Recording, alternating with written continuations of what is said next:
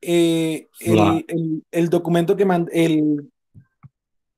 Sí, espera un momentillo que vamos a presentar el curso.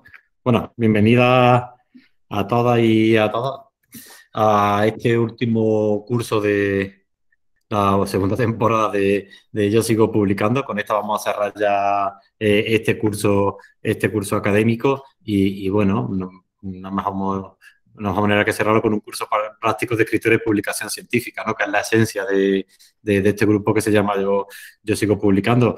Eh, bienvenida y bienvenida a todos los que sois de la Universidad de Granada y a todos los que no sois también de, de la Universidad de Granada. Eh, en este curso va vamos a participar, eh, yo voy a participar como profesor y también mi compañero Nicolás Robinson, que sabéis que, que llevamos este, que somos los que coordinamos junto a otros compañeros eh, este programa formativo. Y, bueno, hemos, vamos a hacer un curso de, de, escritura y publicación de artículos científicos. Realmente lo que vamos a presentaros aquí eh, va a ser un destilado de un curso muchísimo más amplio que tenemos Nico y yo de, de, de 20 horas de, cómo publicar y escribir artículos científicos, ¿vale? De un curso que tenemos diseñado en dos partes bien diferenciadas, eh, en una parte de escritura científica, que es de la que se va a encargar nuestro, nuestro colega Nico, que, nos va a enseñar un poco todas las claves, de, sobre todo de, escritura, ¿vale? Y yo me voy a cargar un poco de la parte de publicación, es decir, cuando está ya el manuscrito redactado y cuáles, cuáles son los pasos que tenemos que seguir para enviarlo a la revista, el proceso de revisión por pares, etcétera,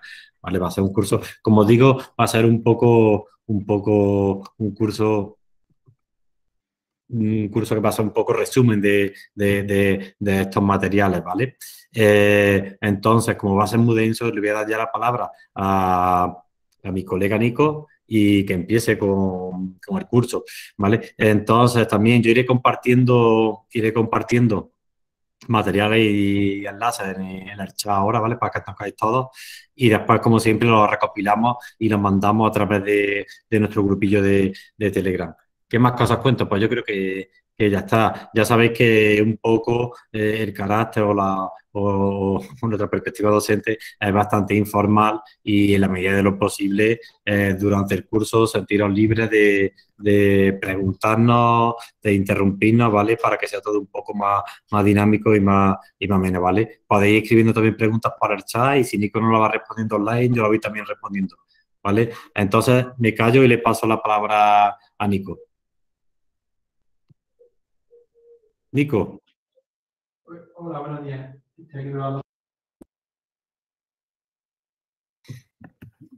Hola, buenos días.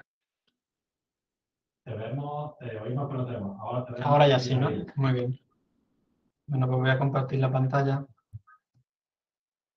¿Me escucho tu vídeo? Sí, voy a bajar.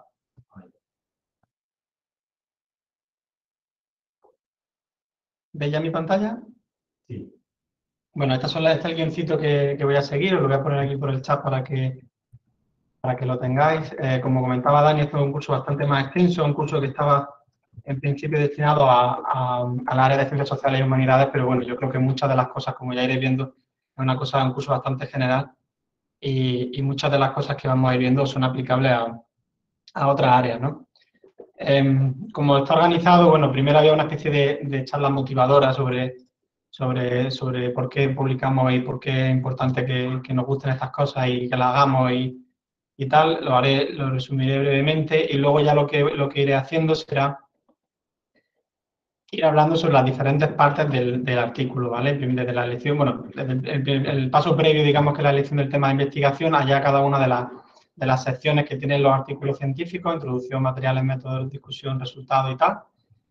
Em, y luego irá dando algunas pistas, algunos comentarios, sobre todo cosas basadas pues, básicamente en nuestra experiencia y tal, em, sobre cómo, cómo, cómo, afrontar el proceso de, pues, sobre todo de estructura del artículo, de, a la hora de ordenar las ideas, fallos que, que también vemos cuando estamos eh, revisando otros trabajos o que hemos aprendido a base de palos, ¿vale? Hay muchos ejemplos, muchos enlaces también que he ido poniendo, algunos, bueno, muchos son propios, eh, y otros son ajenos, tanto ejemplos buenos como malos. Em, ejemplos buenos nuestros y ejemplos malos nuestros, ¿vale? De cosas que yo considero que, que ahora viéndolo con el paso del tiempo son bastante mejorables, ¿vale? Em, y en fin, tenéis, tenéis ahí bastante material para, para, luego más adelante poder, poder echarle un vistazo con calma. Bueno, vamos a empezar por el principio. Em, siempre me gusta empezar eh, con esta, con esta, no sé si es una teoría, pero esta aproximación que tienen unos colegas sociólogos alemanes sobre la carrera investigadora. Estos son dos sociólogos que trabajan mucho sobre, básicamente, analizar cómo los investigadores producen nuevo conocimiento y, cómo evolucionan sus carreras y tal, ¿no? Y ellos siempre hablan de que el, investigador es, una persona que, sigue tres carreras a la vez, ¿no? Eh, tres carreras que en teoría deberían ir en paralelo, pero que a veces bueno, no, no siempre van en paralelo y que bueno, lo que deberíamos de aspirar es, precisamente a unirlas. Digamos que en primer lugar tendríamos la, la carrera organizacional, la carrera profesional, es decir, la que tiene que ver con nuestro puesto de trabajo, si vamos ascendiendo dentro de lo que sería nuestra empresa, que en este caso es la universidad. A nivel científico, que tiene que ver con nuestros retos, digamos, y nuestras ambiciones eh, por conocer, digamos, y por, perseguir una agenda de investigación, en vuestro caso, pues el doctorado, ¿no? El, vuestro tema de doctorado sería vuestra ambición ahora mismo, eh, vuestras preguntas de investigación sería la, ambición que tendría inmediata a nivel científico, ¿no? Y luego el nivel comunitario que he traducido yo, que es un poco raro, pero se tendría que ver más bien con cómo sois percibidos, digamos, dentro de lo que es la comunidad científica. Que no tiene por qué ser, estar relacionada, aunque seguramente habrá cierto solamente con, la, con vuestra comunidad universitaria, pero tiene que ver con, esa, esa, comunidad de investigadores que trabajan en vuestro campo em, y colegas que, que trasciende, digamos, la, la, barrera de la Universidad de Granada que es una comunidad, digamos, idealmente internacional. ¿no? Em, la idea es que conforme yo voy avanzando a nivel científico en mi agenda de investigación, pues bueno, se me irá premiando dentro de mi, empresa e iré ascendiendo. Y al mismo tiempo iré conociendo a gente, e iré, adquiriendo una reputación eh, dentro de lo que es la comunidad internacional que a, la, vez también me permitirá eh, adquirir mayor acceso a recursos, eh, pertenecer a colegios invisibles, es decir, conocer a colegas y poder compartir información incluso antes de que aparezca publicada, etcétera, lo cual me permitirá a su vez pues, mejorar todavía más eh, a nivel científico. Es decir, que la idea es que todo esto está relacionado y en teoría si una cosa va bien, las otras dos deberían de acompañar, aunque bueno, siempre hay ciertas tensiones entre sí. La idea, por eso en ese sentido digo que no es tanto, idealmente no sería la de publicar un artículo científico porque quiero subir en mi escala, sino que idealmente en un mundo eh, fantástico todos querríamos publicar precisamente porque queremos responder a esas preguntas de investigación y en teoría lo demás vendrá vendrá dado. ¿no? Aquí de lo que vamos a hablar es, estrictamente del artículo científico como tal. Hay otros tipos de publicaciones, como seguramente algunos de vosotros sabéis.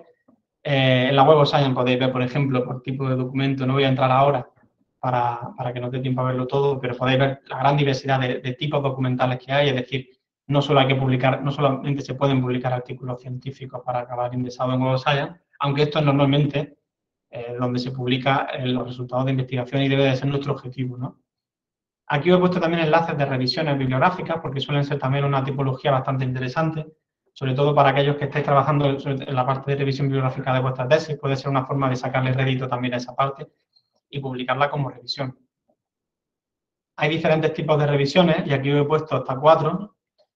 Eh, todos son ejemplos del ámbito de las ciencias sociales, pero como digo, eh, pueden ser aplicables a otras áreas. Por ejemplo, una revisión clásica de la literatura, que tenéis un paper en el que se hace una revisión bibliográfica de la literatura con una estructura más o menos libre que los propios autores eh, proponen y en la cual ellos van seleccionando si justificar realmente eh, los estudios que van cogiendo y lo que intentan es dar esta panorámica general del estado de la cuestión sobre un tema en concreto.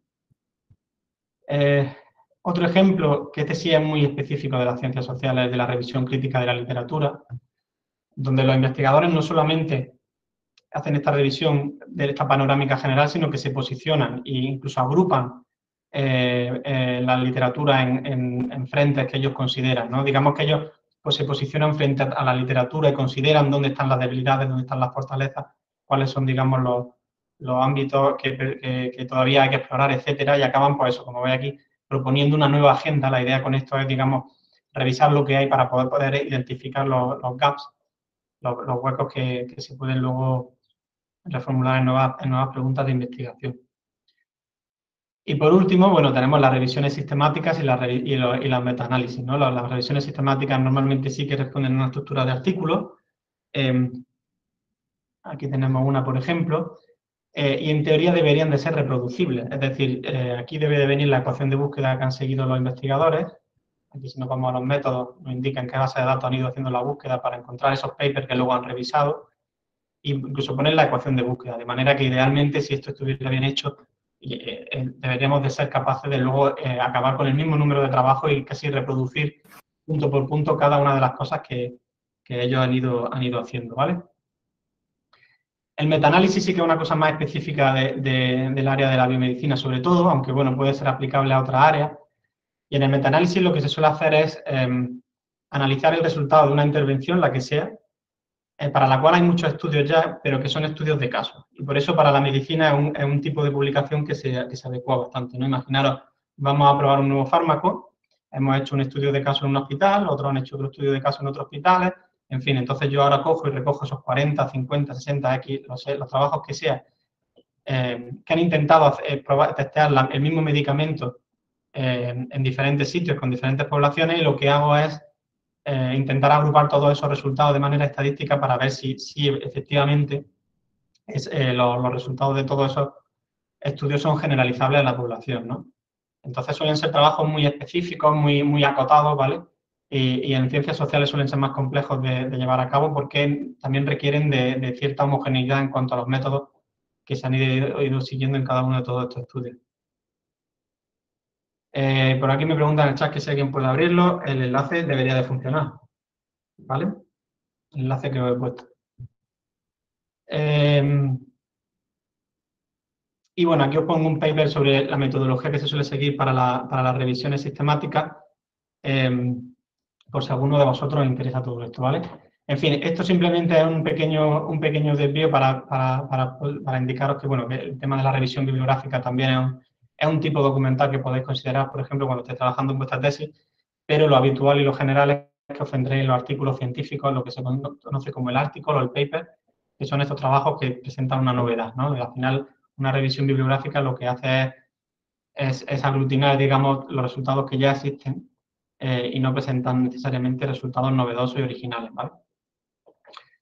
Eh, para aquellos que empecéis, eh, empezáis a investigar, bueno, pues la primera cuestión es elegir el tema de investigación, es decir, llegar a, la idea, digamos, lo que se suele conocer como la, gran idea, que, es la que nos va a abrir un poco las puertas y, nos va a llevar a esa pregunta que tenemos que formular para poder, para poder trabajar. ¿no? Y aquí la idea debe de regirse, la idea del artículo científico, por dos, dos principios que se consideran inamovibles. Es decir, si un trabajo científico no presenta estas dos características, va a ser rechazado seguramente, ¿vale? Porque no se considera que, cumple con los, principios básicos y es que debe de ser un trabajo, siempre debe de ser novedoso y original, es decir, novedoso en cuanto al tema que aborda o a cómo lo aborda eh, eh, y original en cuanto a, que, lo que, lo que lo que promueve, digamos, los resultados deben de ser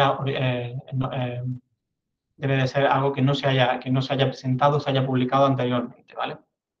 Es decir, no se pueden publicar, por ejemplo, un mismo artículo en dos idiomas normalmente, a no ser que se indique que es una traducción de otro, pero no, no podremos hacer una, lo que sería una publicación duplicada. Esto se consideraría fraude y podría, y podría llevaros básicamente a, acabar rápidamente con vuestra, vuestra reputación y vuestra carrera académica, ¿vale? Para buscar inspiración, aquí os pongo algunos ejemplos de cosas que se pueden hacer. Aquí, bueno, por de, formación profesional, nosotros, tanto Dani como yo, ya sabéis que venimos del ámbito de la bibliometría y las técnicas bibliométricas, y hay muchos cursos de yo sigo publicando donde se han visto algunas de estas técnicas, sin ser un bibliometra experto, podéis aplicarlas fácilmente para, para, para haceros rápidamente con una idea de qué es lo que hay en un campo, en, un campo el que sea, eh, ver cuáles son los principales frentes, ver cuáles son los, los, temas que están emergiendo, ¿vale?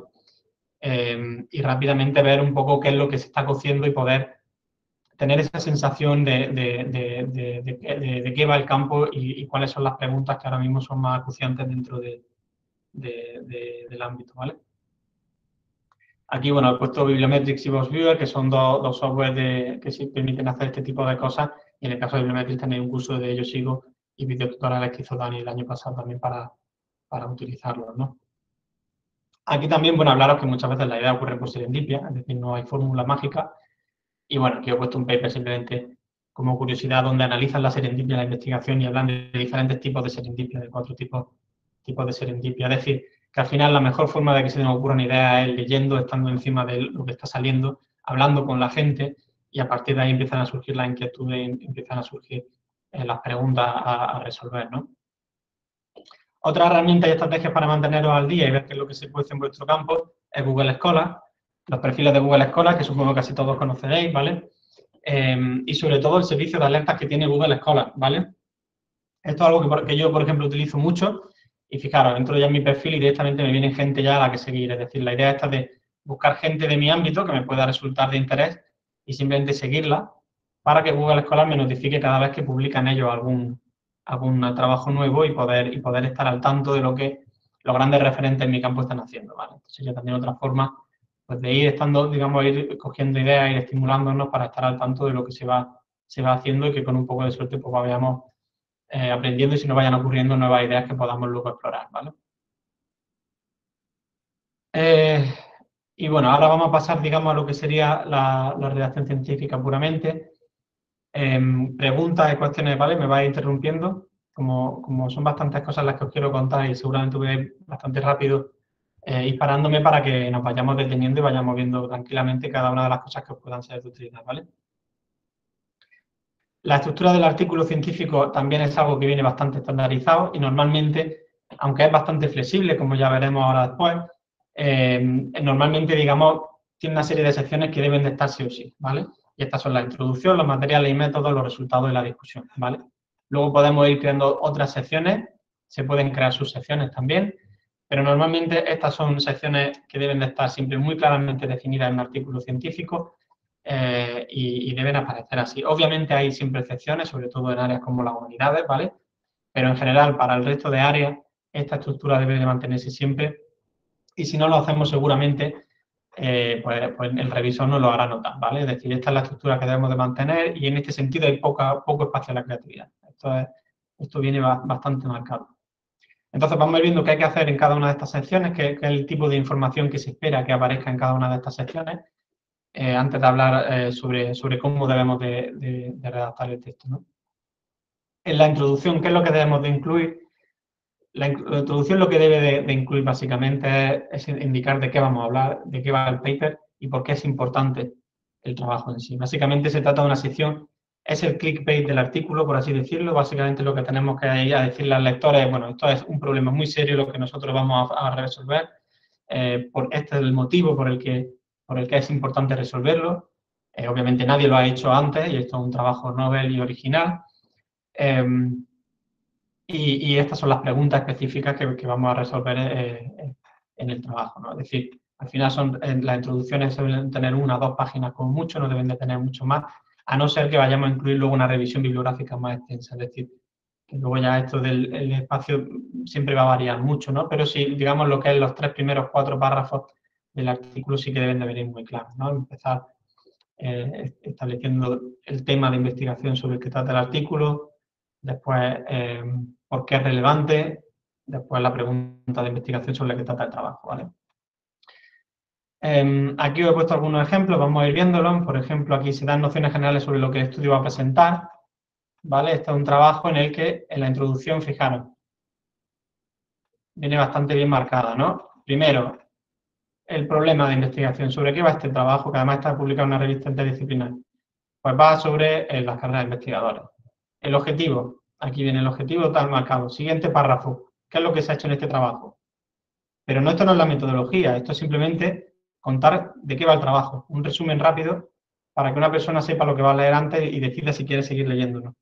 Entonces, dos párrafos contando lo que se va a hacer y de ahí, bueno, en este caso pasar a los resultados, porque tiene una estructura eh, un poco diferente a, a lo que suelen ser los trabajos normalmente de publicación, pero después de aquí iría normalmente la metodología. Fijaros, son cinco párrafos. Uno para abrir boca de clickbait, otro contando de qué va el paper y dos eh, resumiendo específicamente más o menos lo que se ha hecho y, lo, que, lo, que, lo que ofrece el artículo, ¿no? Para que la persona ya decida si quiere leerlo o no. Em, en algunas, en algunas disciplinas, por ejemplo, en economía y management, incluso avanzan resultados. Bueno, este es el enlace roto. Tenía que haberle puesto aquí el DOI. Eh, bueno, luego lo busco y lo corrijo, pero en, algunos, algunas disciplinas, y eso pasa sobre todo en economía, eh, suelen incluso avanzar algunos de los resultados que, propone el artículo, ¿vale? Aunque esto no suele ser lo habitual. Normalmente lo que haremos será, contar, eh, contar el objetivo del trabajo y poco más. Em, preguntan por aquí, ¿cómo diferenciar la introducción del Astra para que no suene repetitivo? La introducción es una introducción, el, Astra lo que está haciendo es resumir el contenido entero.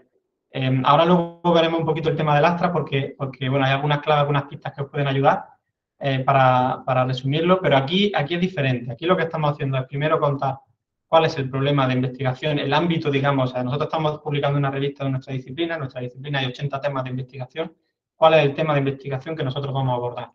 Después ir específicamente al vacío, al, al, gap, digamos, de conocimiento que hay que nosotros queremos abordar, explicar cuál es nuestra, cuáles son los objetivos de nuestro trabajo y, poco más, ¿vale? Em, en, el, en, el, Astra lo que vamos a hacer es resumir el trabajo por completo, de manera que lo que es la introducción en el Astra debería ser lo equiparable a una frase, la primera frase, ¿vale? Y después las segundas dos, tres frases siguientes serían, resumirían lo que es material y métodos. Luego dos, tres frases para resultados y así. O sea que podríamos, la idea con el, acta sería que iríamos siguiendo la propia estructura del artículo para, para que sea rápidamente, para que sea, no sea fácil escribirlo y también eh, refleje rápidamente todo el contenido del trabajo. ¿vale? Em, material y método.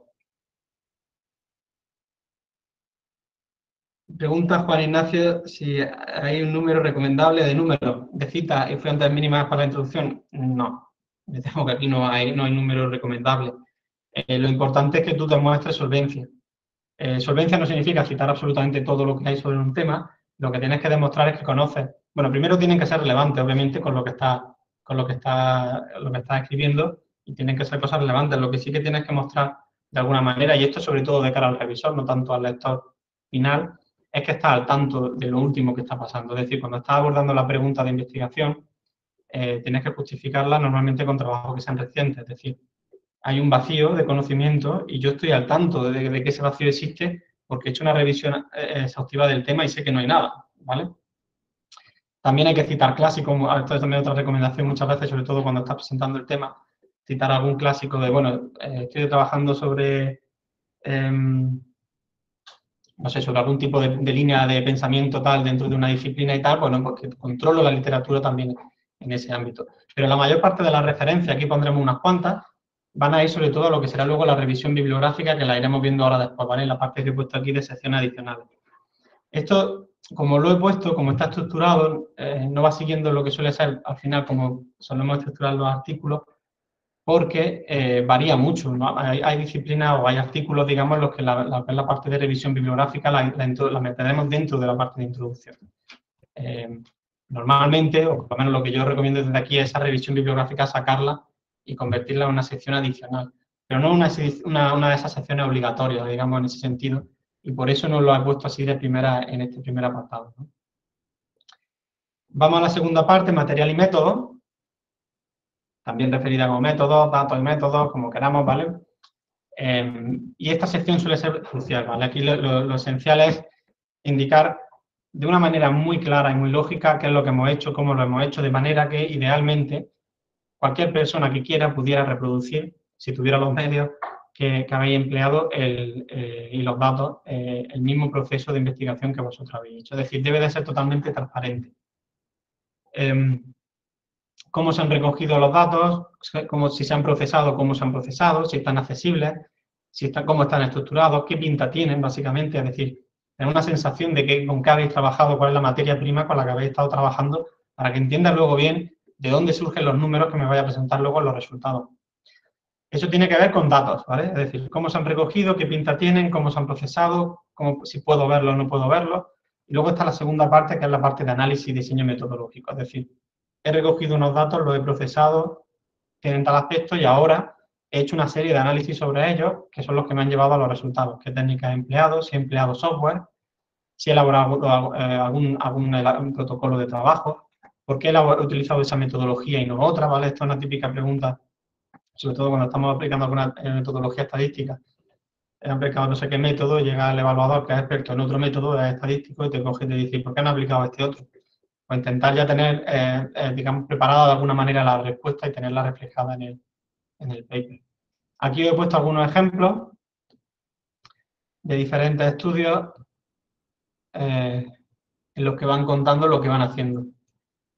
En el primero, por ejemplo, eh, fijaros, métodos. Tiene, en este caso era, era una propuesta para un set de datos eh, de cómo, de cómo eh, bueno, en este caso era de cómo traquear movilidad. Y entonces, bueno, pues se describe de dónde vienen los datos primero, ¿vale? Que los datos contienen un, un, algoritmo de desambiguación y se explica el algoritmo tal cómo consiste. Cómo se han ido, luego cómo han sido tratados los datos, ¿vale? Se van dando incluso tablas con algunos resultados. Por ejemplo, aquí incluso se muestran ejemplos para que puedan entender eh, cómo se han ido procesando esos datos eh, el, lector del paper, ¿no? Y pueda entender todo el proceso que se ha ido siguiendo, ¿vale? Eh, y ir presentando, pues cada uno de estos pasos de manera muy detallada, ¿no? Otro ejemplo, y este ejemplo está bastante bien, en este caso un paper de Penas, la metodología viene aquí al final, porque fijaros, incluye en este caso se trata de un metaanálisis. Entonces, han hecho una búsqueda en el Web of Science, han hecho una búsqueda con esta, con esta red, eh, va describiendo toda la búsqueda, cómo la han hecho, y, y, luego básicamente matan al material complementario. Y si nos vamos al material complementario, en este caso, fijaros el nivel de detalle al que llegan. ¿Cómo se ha hecho la búsqueda? ¿Cómo se han extraído los datos? Las, fuentes y va describiendo cada una de las fuentes, ¿vale? Tenemos aquí otro paper, 16 páginas, ¿vale? Nada más que explicando eh, toda la preparación de datos que se ha ido haciendo, los tipos de análisis que se han hecho adicionales, ¿vale? Que no se presentan en el paper y otros que sí. Esto no es una tabla de material sobre... Esto, esto es porque es una revista muy específica, ¿no? Eh, donde solamente se publican 6-7 páginas por artículo y entonces la chicha del, del artículo muchas veces suele estar en material suplementario. Pero fijaros el nivel de detalle, aparte de lo que son los análisis que hacen eh, suplementarios, el nivel de detalle que dan de, todo el proceso de, metodología de análisis, ¿vale? Que han ido siguiendo. Em, y el último ejemplo es un paper en el que hacen entrevistas, y por eso lo he puesto, porque es un análisis de carácter más cualitativo. Eh, voy a poner aquí el PDF, que me manejo mejor con PDF que con, con versiones completas, con versiones online.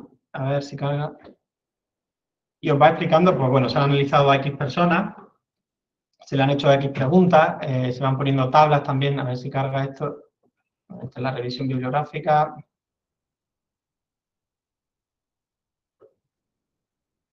Está muy bien aquí todo el mundo conectado. Aquí metodología, ¿vale? Va incluyendo algunas tablas también sobre la gente que ha, que ha que ha entrevistado, a ver si se carga la tabla, aquí aparece, de qué sectores vienen de la población, ¿vale? Eh, por género, por edad, por experiencia, ¿vale? Va, va, incluyendo alguna información que pueda, que pueda ser relevante y en algunos de los casos también, en algunos papers incluso incluyen de material complementario y creo que este era el caso, si no recuerdo mal. Em, incluso eh, se ha sido una, una entrevista semiestructurada la que ha seguido las preguntas que le han ido haciendo a los propios investigadores. A ver si es este. No, aquí no está. ¿Vale? Es decir, incluso el propio protocolo que se ha seguido a la hora de, em, hacer, la, hacer las entrevistas. ¿Vale? También comentaros que últimamente, eh, sobre todo conforme vamos subiendo de nivel a revistas eh, cada vez más de más nivel, están, están siendo más exigentes en cuanto a la transparencia de datos y métodos, ¿vale? De manera que cada vez más, y eso lo, lo, lo, yo lo estoy viendo en propias carnes, eh, suelen exigir, por ejemplo, que los datos estén en abierto. Esto cada vez se está convirtiendo en una exigencia mayor, por lo cual es algo que, que, puede acabar eh, llegando también a las revistas de cada una de las especialidades. Em, y también, y eso sí que en muchas revistas de, de, de, disciplinas, digamos, no las generalistas, también ya lo empiezan a pedir, que indiquemos el software que hemos utilizado para cada una de las tablas, cada una de las figuras que hemos ido creando. Es decir, que cualquier persona sepa exactamente las herramientas que hemos empleado para que luego puedan intentar reproducir todos los datos. Esto, por ejemplo, en el caso de la gente que utiliza eh, lenguaje de programación eh, R o Python y tal, es incluso decir el paquete que ha utilizado para cada una de las figuras, eh, para cada uno de los tipos de análisis, etcétera, ¿vale? Para la gente que hace entrevistas, por ejemplo, y ha estado codificando con en vivo, pues indicar que ha utilizado el software en vivo para hacer ¿vale? Todo este tipo de cuestiones cada vez em, hay que incluirlas más y más en, la parte de métodos, ¿vale? Em, a ver, ¿qué más, qué más? Em, vale, entonces hemos escrito la parte de metodología, hemos escrito toda la parte de recogida y procesamiento de datos, análisis y diseño metodológico y pasamos a la parte de resultados. En esta sección lo que vamos a hacer es simplemente enumerar los resultados a los que hemos ido llegando e ir describiéndolos y resaltando algunas de las cuestiones que consideramos de interés para el lector, em, de las que ya se ven reflejadas, digamos, en las diferentes tablas y figuras que vamos a ir metiendo, ¿vale? Es decir, no vamos a, opinar ni a, ni, a, ni, ni empezar a discutir nada sobre los resultados. Simplemente vamos a ser, digamos, muy, muy, muy, muy objetivos, muy distanciados. Simplemente vamos a ir describiendo, vamos a limitarnos a ir describiendo lo que, ha ido, lo que hemos ido obteniendo eh, de nuestro análisis.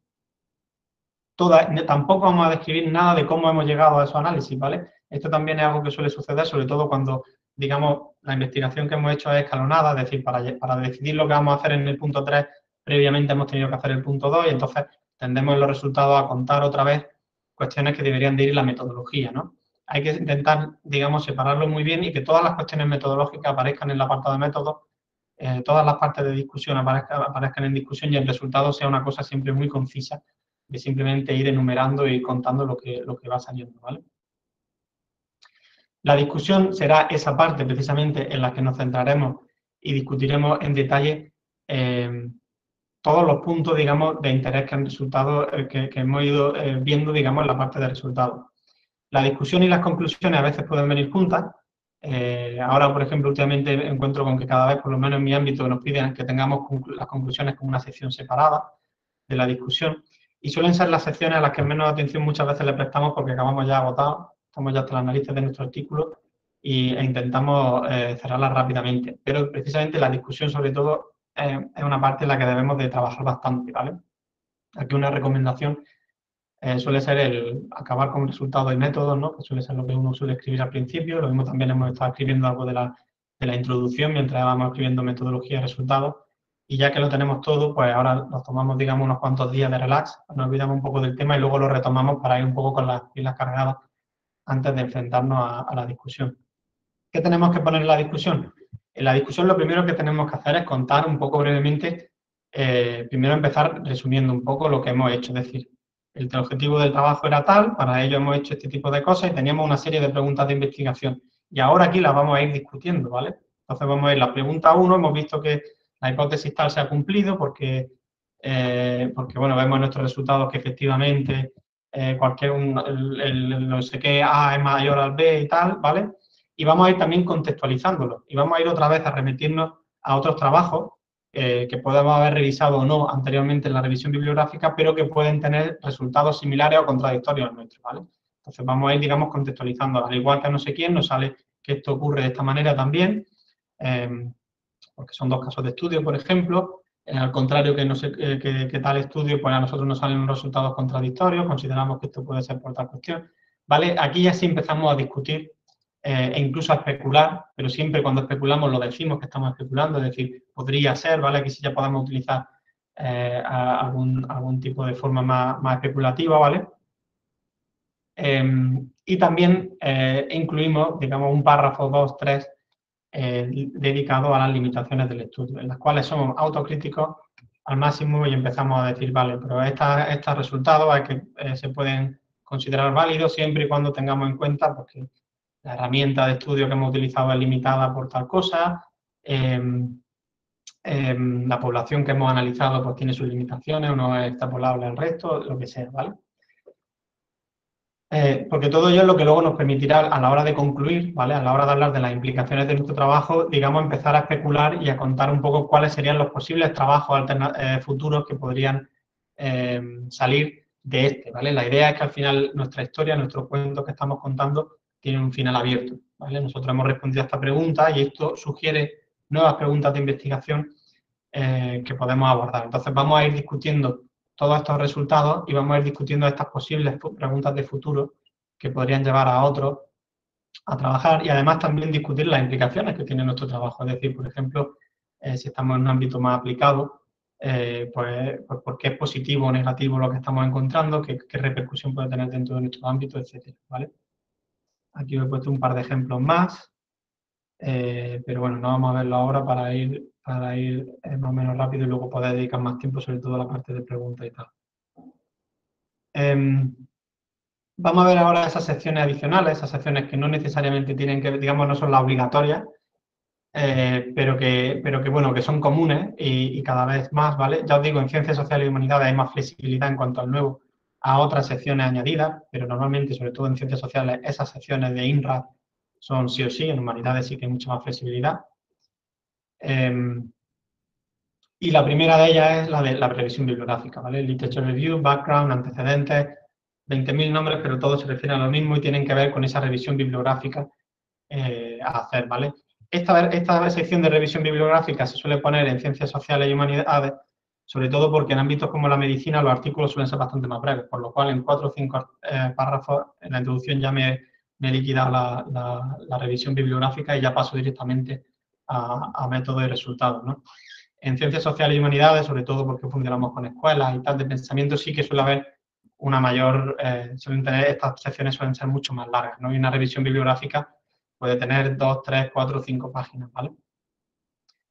Em, y en esta será donde irá la mayor parte de la referencia. Aquí será donde nos explayaremos, iremos contando, eh, digamos, em, cuáles son los antecedentes que han llevado, digamos, a justificar esta, esta pregunta de investigación que nos estamos planteando, ¿vale? Imaginaros que estamos cogiendo, no sé, estamos, queremos aplicar una técnica eh, que viene de un campo en, en, otro campo. Esto es una cosa típica que hacemos mucho en ciencias sociales. Cogemos una técnica estadística que han aplicado en en psicología y nos vamos a, sociología e intentamos adaptarla a lo que sea, o en matemáticas y cogemos tal, eh, pues entonces tendré que contar, estructurar mi revisión bibliográfica en dos secciones en este caso. Una revisión bibliográfica sobre métodos que intentan resolver el problema en cuestión que yo, que yo quiero resolver y otra sobre el problema en cuestión eh, y cuáles son las limitaciones y por qué no se ha resuelto todavía. ¿no? Es decir, estructurar también esa revisión bibliográfica por los dos, tres temas Em, que toquen a nuestra pregunta de investigación y que sirva también de forma de, eh, como forma de justificación. No hace falta aquí, que hago sobre todo cuando estamos eh, con la tesis, solemos hacer es volvernos a la prehistoria y empezar a contar básicamente cómo nació la disciplina. ¿no? Aquí se trata de justificar y de, y de, y de contar un poco todo ese, ese cómo hemos llegado, digamos, a donde estamos, básicamente, ¿vale? Eh, y además siempre pensar que sobre todo la revisión bibliográfica está siempre más dirigida tanto al lector final, pero también en cierto modo al revisor. Al final nosotros tenemos como dos tipos de lectores que quieren dos cosas muy diferentes. El revisor lo que quiere es buscarte las cosquillas, entre comillas, en el buen sentido de la palabra, a ver si el trabajo es serio o no, mientras que el lector lo que quiere es aprender y ver si eso le es útil o no. La revisión bibliográfica al final, eh, pues seguramente la van a leer sobre todo gente que esté introduciéndose en el tema y no tanto gente que esté más, más, ducha en, el tema de investigación. ¿no? Otra sección típica o que se puede añadir, esto ya digo que, que, esta sí que no es tan común como la de la revisión bibliográfica, es una sección específica a los objetivos del trabajo.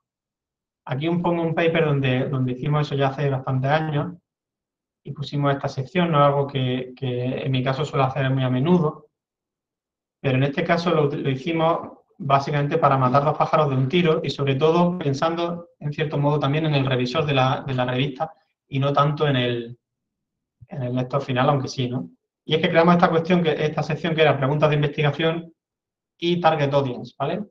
Aquí lo que estábamos haciendo era publicar un artículo bibliométrico en una revista de biblioteca, básicamente. Es decir, la revista no era exactamente sobre el tipo de, eh, digamos, estaba, digamos, era, digamos, nosotros consideramos que el artículo estaba dentro del scope, pero sabíamos que podíamos tener esa, eh, eh, digamos, la, revista nos podía ver como extraños publicando ahí. Entonces lo que hicimos fue crear una sección en la que indicábamos claramente cuáles eran las preguntas de investigación, 1, 2, 3, el objetivo general del artículo, our main aim is, bla, bla, bla, las tres preguntas específicas, y después lo que hicimos fue decir por qué este trabajo era relevante básicamente a los lectores de esta revista en concreto, para que Entonces dijimos, este, este trabajo es relevante a los bibliómetras, sí, ¿vale? Perfecto. Pero es que también es relevante a todo este tipo de grupos que también son lectores de esta revista y por tanto hemos elegido esta revista. Y esto luego lo utilizamos también en la cover letter. Es decir, que aunque aparece en el artículo ahí, y la gente lo puede leer obviamente y tal, tenía esa, esa doble intencionalidad también para convencer a la revista y a los revisores de que efectivamente la revista, el sitio que habíamos elegido era el adecuado, ¿vale? O sea que ya ahí voy adelantando un poquito a lo que va, cosas que os va a contar Dani luego, pero, pero bueno, O sea que aquí, digamos, por eso quería mostrar este ejemplo, porque era un ejemplo un poco raro, es una cosa que no hemos vuelto a hacer en otros trabajos. Eh, pero bueno, también eh, dar algunos consejos sobre cómo, digamos, cómo, cómo enfrentarnos a ese doble público que tenemos. No escribir el artículo para el revisor, pero tampoco olvidarnos del revisor porque obviamente va a ser quien tenga la llave de que esto, esto vaya, vaya em, a buen puerto, ¿no? Y por último, la sección esta de conclusiones que os comentaba que cada vez más, últimamente, esto también son modas, veo que, cada vez eh, intentan, no sé, últimamente me encuentro con que los revisores como que exigen que ponga esta sección. Y cuando viene separada de la, de la discusión, el objetivo aquí no es repetir lo mismo que ha repetido la discusión. En la discusión hemos tenido toda esa parte de especulación, toda esa parte hablando de las líneas. Aquí lo que haremos será coger esas últimas partes de la discusión donde hablábamos de líneas futuras de, investigación, de implicaciones del trabajo en nuestro ámbito, y la resumiremos en dos, tres párrafos, ¿vale? Una sección más o menos breve, de dos, tres párrafos con mucho, en la que básicamente, digamos, sintetizamos las implicaciones que tiene este trabajo y, por qué es importante para, como, como punto de partida para futuras líneas de investigación, ¿vale? Bueno, pues todo esto era relacionado con lo que sería la estructura en sí de, los papers. No sé si hay por aquí alguna pregunta más. Eh, aquí preguntan para revistas de impacto en lengua alemana. Bueno, eso luego podemos, podemos comentarlo. Em, aunque bueno, yo creo que los comentarios que damos son casi generales. Aquí, digamos, lo del impacto, aunque al final suele ser todo en inglés, pero es porque la mayor parte de las revistas de, alto impacto lamentablemente están en inglés, no porque nos centremos en, en la lengua inglesa, ¿vale? Em, pero esto varía mucho por ámbito, ¿vale? Bueno, entonces ahora la idea de esta última sección, o de esta penúltima sección, es hablar un poco sobre cuestiones de, estilo, sobre cómo estructurar el discurso y cómo ordenar la idea. Es decir, hemos visto que el, artículo científico tiene un formato que es bastante rígido en cuanto a la estructura que tiene, pero aún así hay espacio a la creatividad y es muy importante que tengamos en cuenta que aquí lo que vamos a hacer es contar una historia, y que en cierta manera tenemos que enganchar al lector y tenemos que tener en mente al lector cuando estamos publicando, sobre todo cuando estamos empezando a, investigar. Nuestro objetivo no es tanto que la gente lea nuestro trabajo y nos lo cite y tal, sino que es colocarlo en la revista, que nos lo publiquen y ya está. Es como que ya se ha publicado, ya paso, ¿no? Pero, pero hay, que mantener hay que tener en mente que la idea aquí es, digamos, la publicación es la forma de hablar con otros investigadores, ¿vale? Entonces, digamos que aquí lo que estamos haciendo es intentar comenzar eh, a ser parte de esa conversación, por lo cual para ser parte de esa conversación la gente tiene que leerlo y tenemos que tener un discurso que contarle y que le enganche. Aquí he puesto una lectura recomendada de un blog que yo sigo bastante, es un blog de una, investigadora australiana que básicamente su línea de investigación es la escritura científica y, da bastantes consejos. Aquí he puesto un post en concreto sobre cómo buscar ese discurso, esa historia, ¿no? La historia que queréis contar en un artículo de investigación, ¿vale? Eh, pero tiene bastantes posts bastante interesantes, yo lo recomiendo eh, porque es bastante, bastante útil.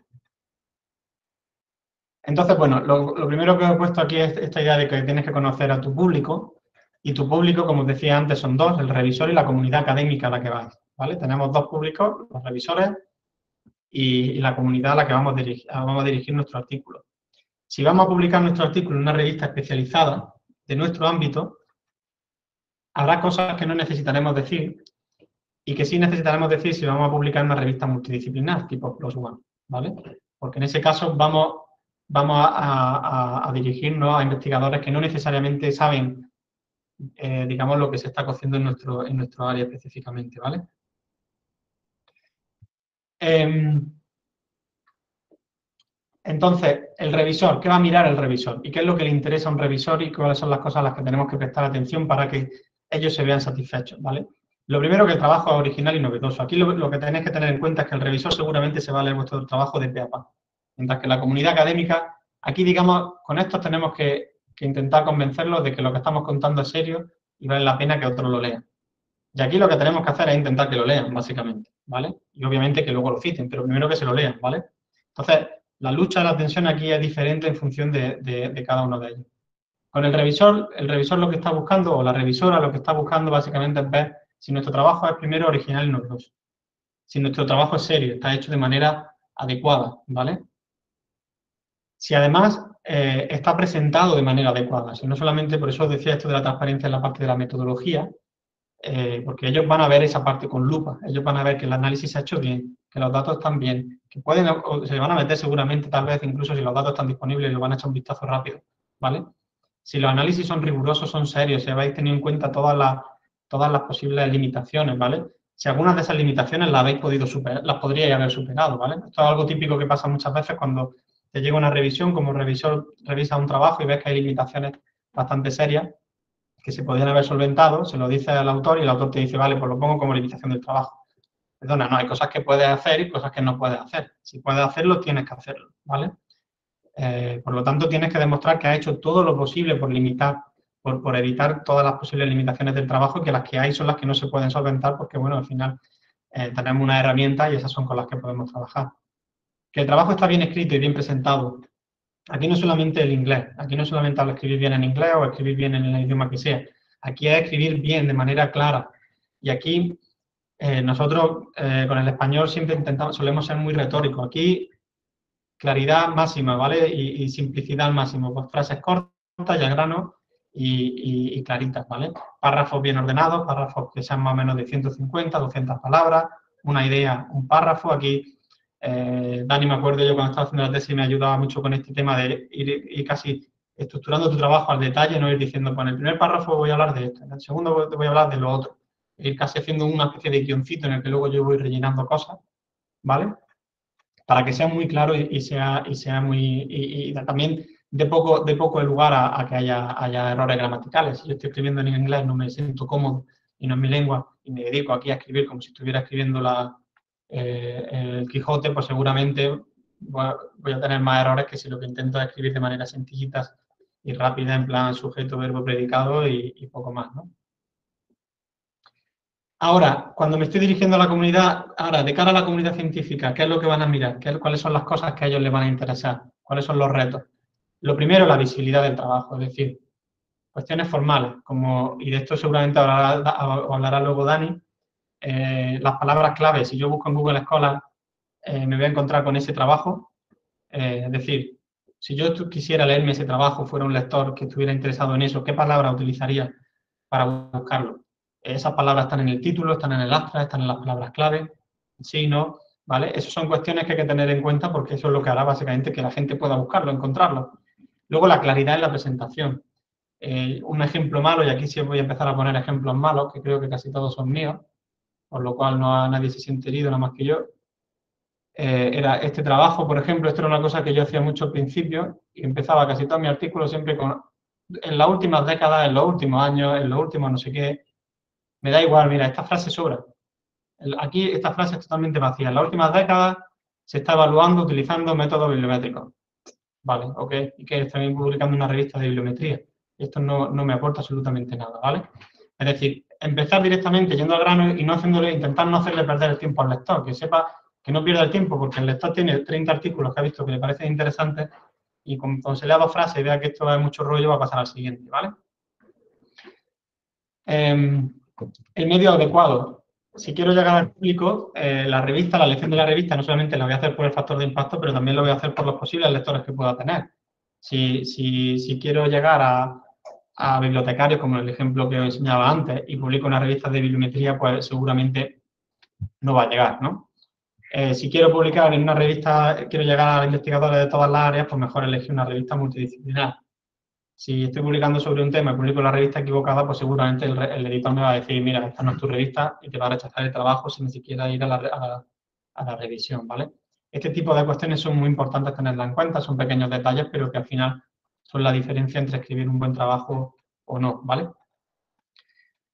Eh, y bueno, lo que os comentaba antes, crear una hoja de ruta lo más detallada posible. Una hoja de ruta que va cambiando todo el rato, que luego seguramente ignoraréis pero de primera intentar montar, montar una estructura, un cuento, ¿vale? Al final estamos contando una historia, en la introducción planteamos, digamos, es donde se plantea el problema, ¿vale? La metodología se cuenta cómo se va a resolver y luego en los resultados se cuenta la solución. Ya hay una historia que queréis contar, la que tenéis que contar por qué es importante el tema que vaya a investigar y luego tenéis que contar por qué es tan importante los resultados a los que habéis llegado y todo eso luego irá en la discusión, ¿no? Em, e incluso ir pensando ya desde un primer momento en las figuras y en las tablas que queréis mostrar. Una pregunta típica que se suele hacer es la cosa esta de, por dónde empiezo a escribir. Y aquí obviamente no hay una respuesta fija, eh, lo va saltando, pero normalmente metodología eh, y resultados y, casi introducción van más o menos a la par. Yo normalmente pues, voy escribiendo la metodología y los resultados, me canso ya de, estar ahí con mi software y mi historia, me pongo a leer un poco y voy escribiendo la, introducción. Lo que sí es que la discusión y las, y las conclusiones vendrán al final y lo último seguramente será ese resumen, ¿no? Del que hablaba, que preguntaba antes el compañero. Em, y bueno, y me estoy adelantando a mis propias ideas, aquí aparece cómo redactar un artículo de investigación, ¿no? Efectivamente, al final el artículo, eh, curiosamente, tiene una estructura que no refleja cómo se hace un artículo de investigación, paradójicamente, ¿vale? Es decir, no refleja cómo se ha hecho, cómo se ha seguido el proceso de investigación. Normalmente, nosotros partimos de nuestra idea, nos ponemos a trabajar y, estamos casi con la metodología y los resultados eh, hasta que ya decidimos luego ponernos a escribir el paper, ¿no? no escribimos la introducción, después pensamos cómo podemos resolver el problema y ya recogemos los datos, ¿no? sino que, suele ser a la inversa. Entonces es muy normal ir saltando de sección a sección, ir escribiendo anotaciones y tal, y por eso este guion os puede servir mucho, porque vais haciendo vuestro guion, eh, digamos, completo de cómo queréis que sea vuestro artículo, y luego ya vais cambiando, vais metiendo cosas, vais sacando tablas y figuras o, lo que sea, y, y, surgen ideas para la discusión, y entonces las vais anotando en esa discusión, de manera que, digamos, se convierta al final en una especie de puzzle. También evitáis esto de enfrentarse un poco al síndrome este del, de la hoja en blanco, ¿no? De, ¿cómo empiezo con esto, no? Pues no, ya tenemos aquí ya una, especie de ruta marcada con, cosas que podemos decir, ¿no? En este caso, por ejemplo, la parte de datos se suele escribir sola como aquel que dice, porque tú has ido haciéndolo de manera que lo más fácil normalmente cuando uno va a empezar a trabajar es casi empezar a escribir por la metodología e ir contando lo que va haciendo, que es casi eh, de manera automática, ¿no? Y luego consejos sobre el estilo. Eh, claro, en un curso como este es muy difícil ponerse a hablar eh, sobre estilo, em, así digamos de manera individualizada, pero bueno, aquí he puesto algunos, algunos, algunos consejos eh, varios, ¿vale? Aquí he puesto una, tabla de, un informe que hizo Dani con un colega, con Tomás de hace unos años, en el que ponían algunos ejemplos, ¿no? De, de frases que se pueden sustituir por otras y tal, ¿no? Pero aquí lo más, digamos, el, consejo más, más, eh, útil, pienso yo, que os puedo dar es que pues, intentéis ser muy directos, muy claros y muy concisos. Intentamos escribir bonito y, lo más bonito es lo más claro y lo que tardamos menos más rápido en pillar el mensaje y, lo que nos engancha, ¿no? Aquí, por ejemplo, el artículo de antes lo he puesto como ejemplo malo, eh, de artículo que intenta ser bastante redundante y no es tan directo, sobre todo en la parte de la introducción, ¿vale? aquí empieza a hablar de la movilidad científica, no sé qué, tal, y no cuento lo que voy a hacer en este trabajo, no lo contamos hasta casi ya al final de la, introducción. Es decir, me leído una página, todavía no me he enterado de qué va el trabajo. ¿Vale? Eso sería un ejemplo, un ejemplo malo.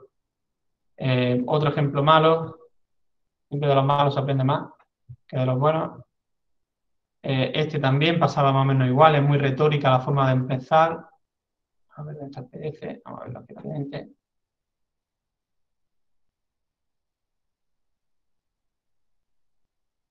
¿vale? Las citas, el análisis de las citas, no sé qué, tal, pasa la primera página, todavía no he dicho de qué va el paper, y ya por fin, aquí ya en mitad de la segunda página, ya por fin empiezo a decir de qué voy a, qué voy a hacer en ese trabajo, ¿no?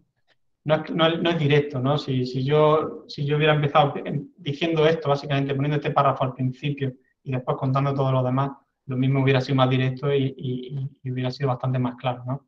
Pero claro, aquí lo que he hecho, si os fijáis, en cierta manera, es hacer la revisión bibliográfica casi antes que la introducción, ¿no? no tengo sección de, bibliografía, eh, porque es más cortito, paso luego a la material y método, y lo que he hecho ha sido casi contar aquí toda la historia o empezar a contarla, luego contar de qué va el paper y luego seguir contando toda la revisión bibliográfica. Es más caótico en ese sentido el orden en el que está el, paper escrito. Eh, ejemplos buenos. Hay ejemplos buenos también que he escrito de vez en cuando. Pues fijaros, aquí tenéis uno, por ejemplo, ¿no? Con el que empieza casi desde el principio con el problema, ¿no? eh, esta herramienta Google Scholar y tal, y desde, y desde el, ya en el segundo párrafo empiezo ya a indicar cuál es el problema, ¿no? Que se está utilizando para la evaluación y tal. Y efectivamente, hasta, hasta ya a mediados de la página ya empiezo a hablar ya de qué es el artículo y qué es lo que vamos a hacer, pero digamos el problema, el problema en cuestión está desde el principio, está ya contado. No estoy hablando ya en general de la evaluación, de cómo empezó y tal, ¿no? Otro ejemplo, este trabajo más reciente, que, bueno, en este trabajo precisamente por la cosa de que tenía que ser eh, relativamente corto, pues va bastante al grano, ¿no? Esta es la introducción que he contado, que me he mostrado antes también, ¿no? Son cuatro párrafos y ya está, ¿vale? Pero rápidamente te pone el primer problema, ¿no? El primer problema, ¿cuál es? Porque las carreras investigadoras se mide nada más el liderazgo y la productividad. ¿Qué es lo que vamos a hacer? Vamos a mirar la especialización, no sé qué. ¿Cómo lo hemos hecho? Brevemente, tal, tal, tal, porque que básicamente lo que estoy diciendo con estos, estos dos párrafos es por qué es novedoso este paper y original, y luego ya paso al resto del trabajo, ¿vale? Em, ¿Qué más, más, más, más, comentarios? Mira, comentarios también recientes eh, que me he encontrado últimamente. La forma pasiva, por favor, eliminarla de vuestras vidas. Mejor primera persona del plural o incluso del singular. Si os veis aquí, a mí me cuesta mucho escribir en singular, pero si sois vosotros el único autor del artículo, pues también escribir en singular y decir yo he hecho esto. ¿Vale? A mí me cuesta incluso que escribiera yo solo el artículo porque, porque siempre estas cosas cuestan más, pero si no, primera persona del plural. Pero la, la pasiva, por favor, prohibirla porque suele ser bastante, bastante, suele leer bastante mal, ¿vale? Es decir, cuando lees un artículo en pasiva, eh, te sientes como que estás leyendo las instrucciones de, la lavadora más que un artículo científico, ¿vale? Y, te, produce cierto rechazo. Luego también recordaros, el artículo científico al final es un documento cíclico, mucha gente no va a leer el artículo entero, ¿vale? Aparte del revisor. Eh, por lo cual a veces hay que repetir, no se trata de repetir exactamente todo el rato lo mismo, pero sí de, ir apuntando e ir enlazando, ¿vale? Muchas cosas típicas que se suelen hacer, por ejemplo, sobre todo cuando tenemos estructuras de artículos que son poco ortodoxas, es al final de la introducción eh, dedicar un párrafo a decir cómo está organizado el artículo. Pues mira, primero hemos hecho esto, la sección 2 hemos hecho tal otro, la 3 tal. Esto cuando suelen tener, digamos, estructuras raras el artículo. Si se sigue una estructura INRAD no hace falta, ¿no? Pero, pero eso puede ser algo, algo útil. O incluso dentro de una sección, porque tenemos sus secciones, por decir, en la revisión bibliográfica podemos He hecho una revisión bibliográfica sobre estos dos temas, lo hemos estructurado de esta manera, una par de frases que sirvan para ayudar al lector sobre lo que se va a encontrar y pueda, digamos, adelantar información. En la discusión, volver a repetir, el objetivo de este paper era tal, para eso hemos hecho este tipo de análisis y los resultados nos muestran lo otro. Obviamente, ya hemos dicho de que iba el paper antes, ¿no? Pero, pero sirve para recordar, para, para que el, autor no tenga que ir, el, investigador no tenga que ir saltando de secciones a secciones y pueda facilitarle la vida, ¿no? Y revisar. Al final lo más fácil tiene que ser escribir, poneros a escribir a lo loco, no pasa nada, y luego dedicaros a revisar y a, pulir y a limpiar. Eh, porque eso es lo que hará, digamos, que podáis luego ser muy críticos y podáis ir viendo todo este tipo de cuestiones. Cosas para revisar fáciles a la hora de, releer, por ejemplo, si estáis escribiendo en inglés, es dedicaros a, eliminar conectores. Therefore, however, in regard, nevertheless, todos estos conectores quitándolos, ¿vale? Aquí he puesto un ejemplo eh, de, en el caso era un resumen, ¿vale? Eh, de cómo lo escribí al principio y cómo se quedó al final, ¿vale? Me quité, no me quité mucho, me quité al final una línea solo, pero, pero fijaros, bueno, pues cómo he ido quitando, por ejemplo, empezaba, empezaba yo muy literario, la ciencia está en una encrucijada, afuera, es una frase vacía, no, no, ofrece información y esto no es una novela, por lo cual me lo cargo, ¿vale? Em, es decir, este tipo de cuestiones intentar, intentar eh, ser bastante críticos frases de cinco líneas. Eso hay que evitarlo, es decir, las frases tienen que ser siempre cortitas y, breves e intentar partirlas como podáis, ¿vale? Luego, aquí veía antes una pregunta sobre cómo argumentar, eh, como sobre las la citas, cómo se ponen las citas con enlace a la bibliografía. Vale, bueno, eso lo podemos comentar. Eso tenéis que utilizar vuestro, gestor bibliográfico mágico, ¿vale? Y poniendo vuestras referencias, ¿vale? Em, eso luego lo podemos ir comentando, aunque creo que también hay algún curso de yo sigo sobre el tema de las citas luego lo podemos ver bien. En la parte de cómo argumentar y qué citar. La cita en un artículo científico, aquí os pongo, tiene una triple emisión. ¿no? Primera, convencer al evaluador de que tú conoces el campo, de que tú sabes de lo que estás hablando. Segundo, que debería ser la, primera, en cierto, eh, digamos, si nos ponemos en plan eh, utópico, ¿no? reflejar los trabajos que han influido en tu estudio. Es decir, yo he ido leyendo cosas que me han inspirado y ahora yo quiero, eh, y yo tengo que reconocer esa, esa, inspiración, ¿no? Y en último lugar, apoyar tu argumentación. Es decir, yo digo, en España en los últimos años eh, ha crecido el sobrepeso, por ejemplo, ahora tengo que poner una cita eh, o tengo que, demostrar eso de alguna manera. como mi estudio no, trata sobre demostrar que el sobrepeso ha crecido en los últimos años, sino que eso es, digamos, lo que me va a abrir para argumentar luego y justificar mi pregunta de investigación, por lo que tengo que citar un paper en el cual se haya analizado el crecimiento del sobrepeso en, en España, por ejemplo, ¿vale? Ir siempre a la cita original. ¿Vale? Esto es un fallo también que cometemos mucho. Leemos artículos y en los artículos nos vemos la revisión bibliográfica, que nos viene de lujo porque nos resume perfectamente 80 trabajos que nos ahorramos leer y luego citamos ese otro trabajo. a no ser que, no sea, no una revisión bibliográfica el paper en sí y no la sección bibliográfica de otro paper, siempre es recomendable, incluso en esos casos, ir siempre a la cita original. Es decir, si, en un trabajo dicen que otro dijo, irnos a ese otro y leer lo que dijo exactamente. También porque se produce muchas veces, eh, al final esto funciona a veces como el, teléfono escacharrado y el mensaje que quería decir el autor original se va diluyendo y no es exactamente tal vez eh, lo, que, lo que vosotros queréis reflejar, ¿vale? Eh, y si se trata de algo específico, de una cita literal, hay que señalar la página en la que se encuentra, ¿vale? Esto sobre todo en las ciencias sociales, en, la humanidad, en la medicina, en la ciencia, en la ingeniería tal, no tanto, ¿vale? Pero en ciencias sociales y humanidades, si hay una cita literal y la vaya a copiar y pegar, decidme la página en la que, la que la encontráis para que yo pueda buscarla y verla, ¿vale? Y tener en cuenta que la ciencia progresa y que es habitual que haya trabajos también contradictorios. Aquí os ponía una herramienta que ha surgido ahora, está bastante chula, porque utilizando diferentes técnicas va diciendo si, si un paper tiene citas, cuántas citas, digamos, eh, corroboran los, resultados que se muestran en ese estudio y cuántas citas lo contradicen. Eh, ¿Vale? Entonces, bueno, hay que argumentar siempre con evidencia empírica y no, apoyar en, y no apoyarse en afirmaciones que sean, digamos, espurias o en resultados cuestionables. Es decir, tampoco vale que porque he citado lo que yo digo está bien, ¿vale? Porque la ciencia al final es un diálogo y, en algunos ámbitos yo podría ser muy crítico, por ejemplo, con ese trabajo que tú estás citando. Decir, bueno, es que ese trabajo no me parece serio. ¿vale? Es decir, hay que intentar buscando, buscar esa seriedad y ser crítico también con tu trabajo y con, con los que vais citando también. Si vais a publicar en inglés o en otro idioma que no es el vuestro y no, no lo no sentís lo suficientemente cómodo, pues ya sabéis, podéis siempre plantear acudir a un traductor profesional o una, sección, una sesión sobre esto. Revisar siempre es más barato que traducir, ¿vale?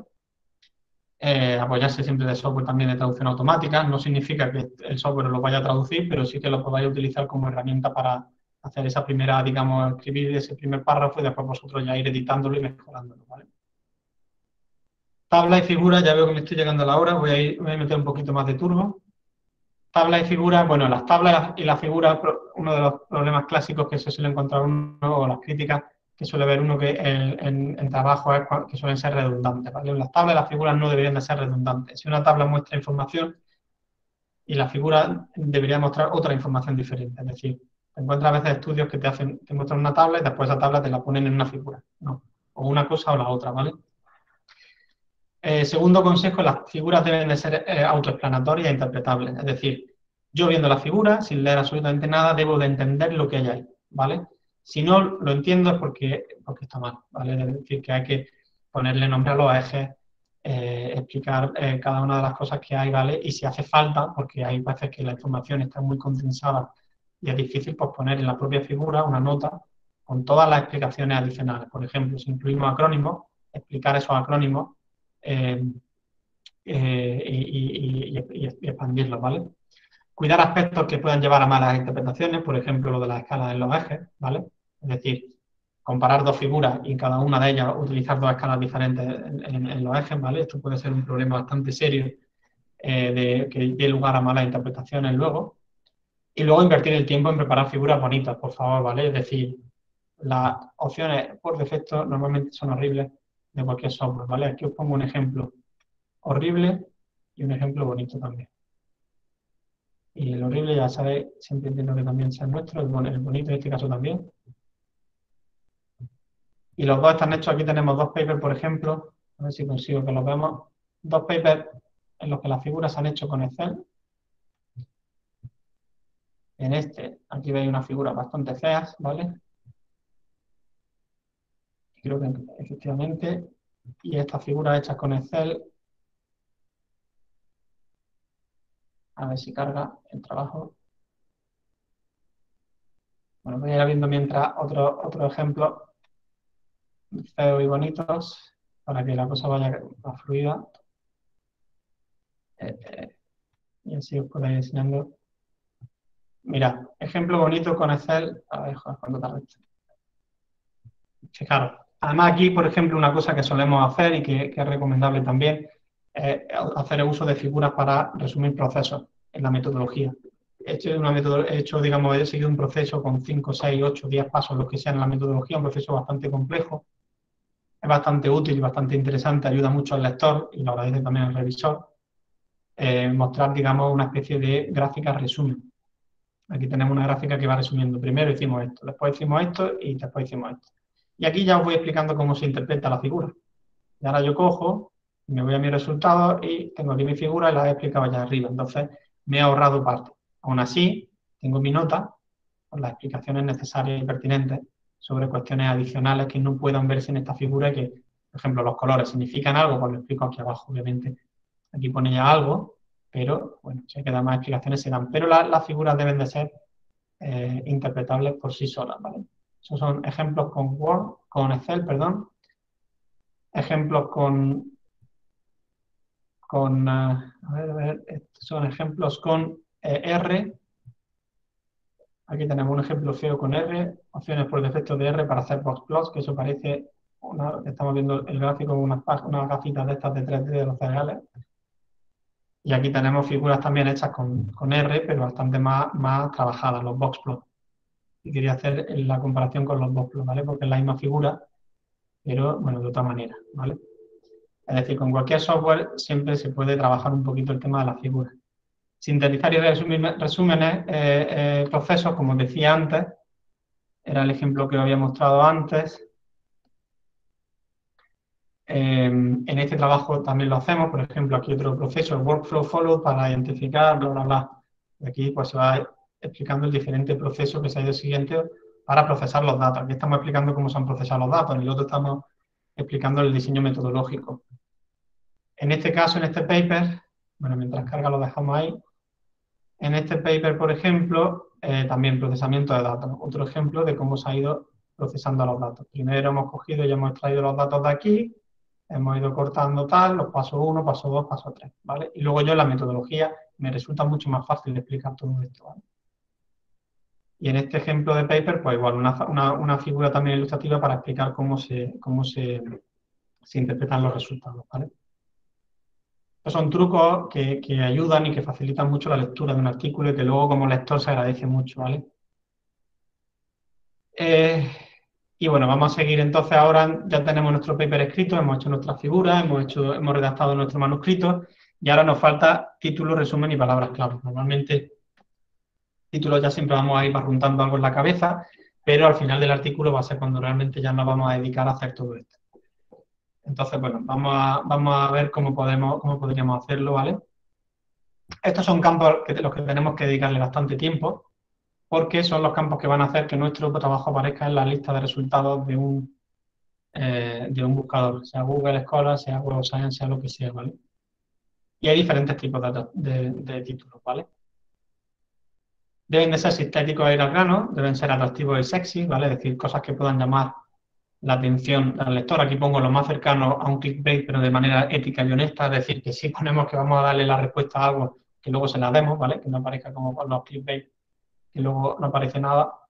Y deben de contener los, conceptos esenciales que puedan ser recuperados. Es decir, aquí otra vez estamos intentando redactar las cosas para dos tipos de públicos. Por un lado, para la gente, es decir, que cuando lean el, título, pues les llame la atención y, y cliquen. Y por otro lado, al buscador que, digamos, pueda recuperar ese trabajo cuando gente que tenga interés en ese trabajo pueda eh, utilice, digamos, las mismas palabras clave que nosotros hemos utilizado. Hay muchos tipos de títulos varían por áreas también. Aquí he puesto diferentes ejemplos de, artículos reales, ¿vale? Eh, informativo, por ejemplo, eh, eh, no sé qué técnica de interacción de no sé qué, repara los caminos identificados para no sé cuántos. Esos son muy típicos en, biología, biomedicina, etcétera, ¿vale? Explicativo, que suelen venir siempre con título y subtítulo. Planeando un título, práctica y preferencias sobre títulos con dos puntos en, los en artículos académicos. En este caso, un artículo sobre los títulos. Aquí en plan meta, meta artículo. Atractivo, uy, que he clicado ahí donde tenía que clicar. Vamos a ver. Pues fijaros, aquí uno que pusimos que, tuvo bastante repercusión en Twitter, ¿vale? Para, para bueno, eh, parafraseando el título de una novela, ¿no? la insoportable levedad de tutear sobre artículos científicos. O intrigante, ¿vale? que es una tecnología emergente. Bueno, pues entonces yo cliqueo y en teoría el artículo debería de, ir sobre eso. Prueba a hacer búsqueda en Google Scholar, por ejemplo, intenta buscar tu artículo no publicado todavía en Google Scholar para ver si te aparecen artículos sobre ese tema o no, ¿vale? Utilizando los términos de tu título, ¿vale? Es decir, puedo hacer algunas pruebas para ver si realmente nuestro artículo sería recuperable con los términos que vamos a utilizar. E invierte tiempo en escribir un buen abstract que sintetice la estructura del paper, ¿vale? Lo que os comentaba antes, pues la introducción la reduzco a una, a una frase, la metodología a dos, los resultados dos, tres, y luego conclusión, discusión y conclusiones dos, tres frases. Y al final llego a mis 150 palabras, que es lo que suele tener un, un abstract, ¿no? Y luego, bueno, simplemente comentaros que al final cada revista tiene su, su muchas revistas tienen sus propias estructuras y sus formatos de revista. Penas, por ejemplo, pues ya mostraba antes que la metodología la suele incluir casi como un apéndice. Eh, y en fin, aquí os ponía diferentes ejemplos de formatos de revistas para que pudierais, pudierais investigar un poquito, ¿no? También deciros que algunas revistas vienen con sus propias plantillas eh, y aquí tenéis, bueno, pues dos herramientas donde podéis utilizar ya incluso la plantilla para que nuestro artículo parezca ya maquetado como para enviarse a la revista de manera fácil. En este caso utilizando R y utilizando látex, ¿no? Y aquí os pongo los enlaces. Y bueno, pues ya aquí por comentar sobre la referencia bibliográfica, bueno, una serie de mandatos de casi de recomendaciones de, ideales, ¿no? Bueno, sed honestos, por favor, citar, citar las cosas que leáis. Es lógico que autocitéis, se les pregunta siempre por la autocita, es normal autocitarse, lo que no es normal es que solamente me autocite, ¿vale? Es decir, que tenga un ego que parezca que el campo lo he, creado yo, ¿no? Eh, es lógico también citar artículos de la misma revista a la que va a enviar el manuscrito, porque en, teoría lo manda a esa revista porque es pertinente, ¿vale? Pero no es ético que, os pongan como... como, como es, normal, por ejemplo, que un revisor os recomiende citar cosas que puede que sean suyas, ¿vale? O incluso cosas de la propia revista. Eso es normal. Lo que no es normal es que te lo impongan y tengas que hacerlo para que te acepten el artículo, ¿vale? Del mismo modo que no es ético tampoco que la revista te recomiende o te imponga que cite a la propia revista. Esos son comportamientos poco éticos y yo recomendaría, si encontráis una de esas, es que os vayáis de esa revista corriendo porque no pinta bien, ¿vale? Eh, Zotero y cualquier otro gestor bibliográfico os sirve para hacer para las citas y la mayor parte de las revistas tienen plantillas que podéis utilizar ya, ¿vale? Para que ya las citas te aparezcan todas las referencias en el formato de la revista sin tener que preocuparos eh, por nada, ¿vale?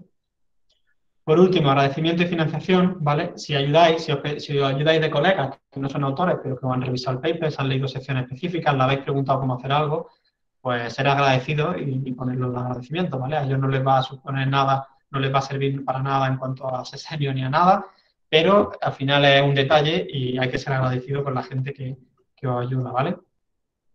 Si son coautores, obviamente son coautores, pero, en este caso me estoy refiriendo a, a contribuciones muy menores, ¿vale? Si ha recibido ayuda de financiación, ¿vale? Y esto, sobre todo los que tengáis financiación para vuestro FPU eh, o FPI o lo que sea, indicadlo. Si estáis trabajando en un proyecto, indicadlo. Esto es muy importante a la, hora luego de justificar que el dinero que se ha invertido en vosotros efectivamente ha servido para algo, ¿vale? Si hay versiones preliminares o, habéis presentado alguna cosa en una conferencia, en un seminario, puedes decirlo también incluso en los propios agradecimientos. Versiones anteriores de este trabajo se presentaron en el congreso de no sé qué no pasa nada. En alguna área, en alguna revista suelen ser, puede que haya algún, algún dinosaurio que, esté en contra de esto, pero esto es lo normal y es lo habitual. Normalmente vamos a las conferencias para presentar adelantos de trabajo en los que estamos todavía trabajando y queremos feedback para mejorarlo, ¿vale? También se ha agradecido con los revisores si se lo merecen y le pones, bueno, pues que le agradece a, los dos anónimos revisores o al revisor 2 eh, sus comentarios y sugerencias, ¿vale? Eh, y bueno, lo que decía, esto es un poco redundante, también se ha agradecido con compañeros que te hayan ayudado en la concepción del trabajo, pero que no sean autores, ¿vale? Y bueno, con esto ya eh, estamos como tú quieras, Dani, damos turnos de preguntas por aquí. Veo que tenéis aquí una discusión muy viva con la, con la referencia, lo que quieras.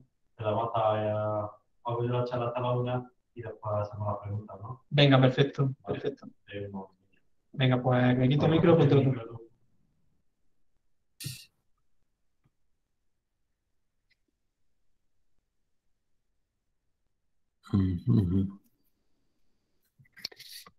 Vale, bueno, voy a compartir la pantalla. Eh,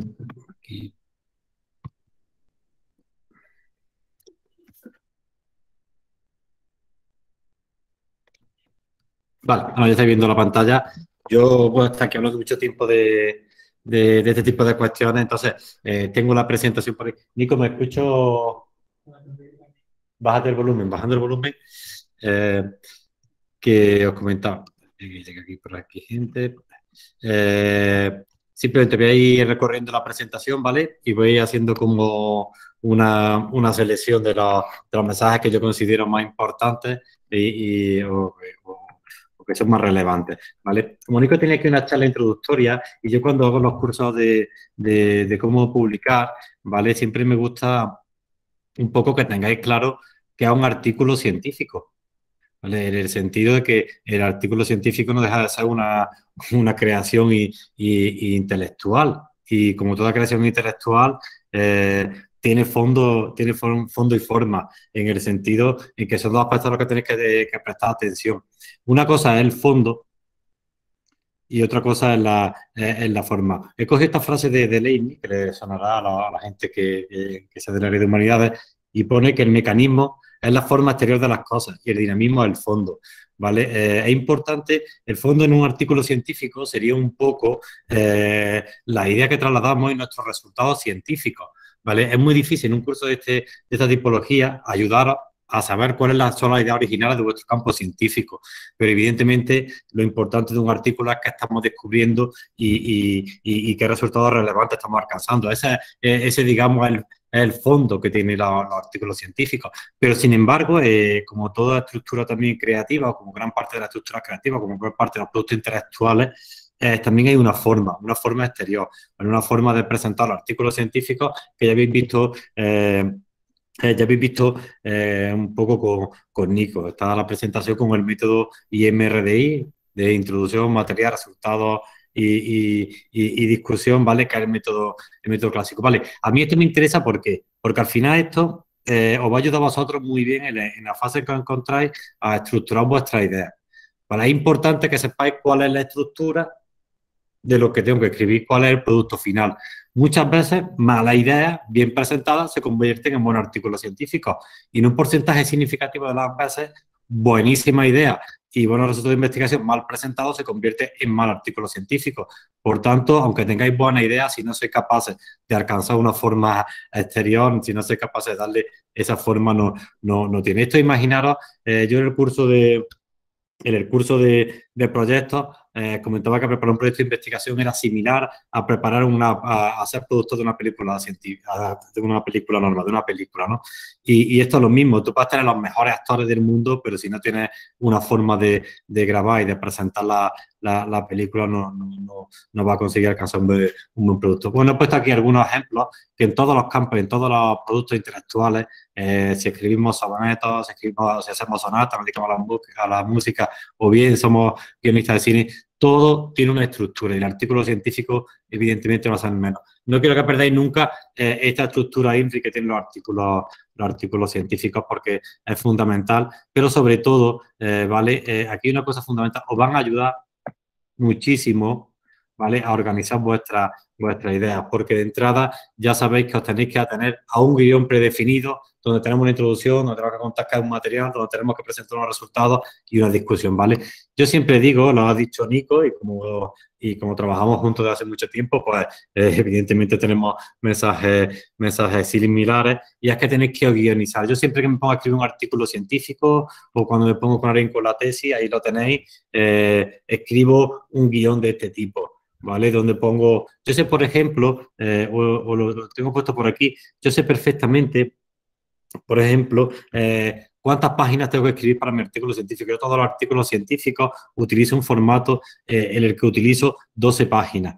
¿Vale? Aquí después en todo este enlace he puesto algunos, algunos datos. ¿vale? Normalmente un artículo científico tiene 12 páginas. Esto es importante porque ya cuando os pongáis a escribir os quitáis bastante presión porque solo tenéis que presentar 12 eh, páginas. También tenéis que tener claro cuánto debe ocupar cada una de, las sesiones del artículo científico. Sabemos que la introducción dura en torno a dos páginas y media, que los resultados, al ser más importante, tienen que tener cuatro páginas. ¿vale? Esto ayuda un poco a saber cuánto esfuerzo o, cuánta dedicación tenéis que emplear cada una de, las sesiones. Os digo esto porque eh, cuando he trabajado con gente, eh, con gente a lo mejor joven o con menos, con menos experiencia en la escritura de artículos científicos, a lo mejor eh, me presentan una introducción de 10-15 páginas y han hecho un esfuerzo enorme y, claro, no tiene sentido hacer una introducción de 12 páginas cuando vamos a sacar la tijera y, después vamos a sacar solo, nos vamos a quedar con dos páginas, ¿vale? En fin, son factores que tenéis que tener en cuenta, el número de párrafos que tenéis que, que, tenéis, cuántas referencias tiene vuestro campo científico, para saber si tenéis que leer más o menos de, la cuenta, ¿vale? Bueno, yo he puesto aquí que es importante que cuando empecéis a trabajar hagáis un guion. Bueno, este es el guion, este digamos es, la, lo que estáis viendo aquí. Simplemente os recomiendo que hagáis esto, ponéis, fijaros, el título, aquí va el astra, perfecto, eso es lo último, ¿vale? Pero fijaros, eh, el documento que está, está aquí, el enlace a este, ¿vale? Lo tenéis aquí el documento, aquí en este enlace, y voy a ver si está compartido para que lo tengáis. Ahora lo pongo para el chat, vamos a ver, lo compartimos, sí creo que sí, ¿no? Hay gente por ahí entrando, eh, cambiar, eh, cualquier persona con enlace hecho. Y ahora voy a contar aquí que voy a encontrar esto lo paso por aquí. Ahí lo tenéis. Ahí. Eh, Mira, eh, bueno, esta es la primera página, ¿vale? Ponéis, esto es lo que, esto digamos, es el documento que debería hacer cuando ponéis, voy a escribir el artículo, tengo mis resultados, tengo ya todo aquí preparado y digo, vale, voy a escribir el artículo, ¿vale? Lo primero que tenéis que hacer es un guion de este tipo. Fijaros, a ver, que están por aquí también entrando. Fijaros aquí una cosa, fijaros, yo he dividido, lo primero que hago es dividir, uno, la introducción. He puesto entre una, entre 1,5 y dos páginas y tiene que tener 5 o 7 párrafos. Perfecto. Tío, esto te relaja mucho la mente porque ya dices, vale, yo no tengo que escribir tanto, no tengo que hacer una introducción de leche. Vale, esto es lo que tenéis que hacer primero, ¿vale? Fijaros, eh, después vamos a seguir repartiendo juegos. Eh, tenemos los materiales y métodos, ¿vale? Hacéis igual. Establecéis qué párrafos y qué longitud debe tener. Los resultados, ahí los tenéis, ¿vale? Bueno, he puesto simplemente el ejemplo de los dos primeros, ¿vale? Es importante es importante que yo sé que la introducción va a tener una como dos páginas y cinco párrafos y que en cada uno de los párrafos pongáis qué es lo que voy a contar. Aquí introduzco el tema. Aquí voy a hablar del aspecto económico. Aquí voy a hablar de los aspectos sociales. ¿Vale? Eh, aquí de lo último va a ser el tema. Intentar citar dos referencias de no sé qué. En el quinto párrafo, considerar, aquí presentamos los objetivos. Y aquí en la última parte resumimos las siguientes partes que vienen a continuación del artículo, ¿vale? De manera que ya cuando voy a escribir sé perfectamente lo que voy a escribir. Esto un poco, si os fijáis como el cine, esto es como el script del cine, ya tengo un guion, ¿vale? Pero es importante que hagáis eh, estos guiones. La gente que trabaja conmigo sabe que yo lo aplico mucho a estos guiones antes de ponerlo a hacer nada. ¿Por qué es bueno tener guiones? Uno, porque delimitamos nuestro campo de trabajo, que es fundamental para no irnos por la, por la rama. Y después, eh, es fundamental porque podemos fragmentar el trabajo la fragmentación del trabajo científico, del trabajo de escritura es fundamental. Porque, por ejemplo, eh, yo le puedo decir a Nico, mira, Nico, el párrafo cuarto no tengo ni idea de lo que escribí. Encárgate tú, ¿vale? Cuando tenga el párrafo cuarto escrito, me lo manda, ¿vale? Otra cosa que soy bastante, bastante obsesivo con, con este tipo de cuestiones es cuánto tiene que tener un párrafo. Yo me he acostumbrado a eso, a hacer artículos de 12, eh, de 12 páginas con las sesiones tradicionales y con un número determinado de párrafos. Además los párrafos intento siempre sistemáticamente hacerlo de 10 líneas, ¿vale? Para no irme mucho con las ramas y después para cuando sea el proceso de maquetación, ¿vale? Eh, esto sea eh, esté bastante claro el, artículo. Voy si tengo por aquí alguno, algún ejemplo. Bueno, aquí tenéis ejemplos que hay muchos artículos y aquí tenéis ejemplos, aquí en este, en este hay artículos científicos que esto está medido científicamente, mide el número de páginas, de párrafos, cuál el artículo científico perfecto. Y tengo aquí un ejemplo de paper, a ver, que tengo por aquí. Aquí tiene un, paper de los que he escrito yo, digamos, así, eh, yo, bueno, aquí lo tenéis con Wences, pero de los que me encarga yo más directamente la relación y veis que no, que no es coño lo que os cuento. Ahí, si vais contando, hombre, no tienen todos días, pero entre 11 y 12 líneas tienen, ¿veis? Fijaros, la introducción, ¿vale? Veis que todos los párrafos menos están iguales y ahí tenéis los cinco o seis párrafos que, vienen. ¿Veis? Dos páginas, ¿eh? Bueno, aquí tenemos dos páginas y media. Si quitamos esto, dos páginas y media.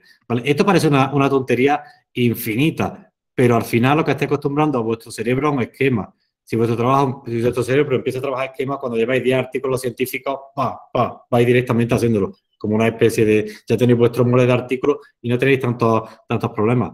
¿vale? ¿Veis por aquí también se ha colocado una voz? ¿Hay problemas? ¿No se escucha? ¿No? ¿No me escucháis? Sí, sí, te estamos escuchando. Sí, sí, te escuchamos las horas.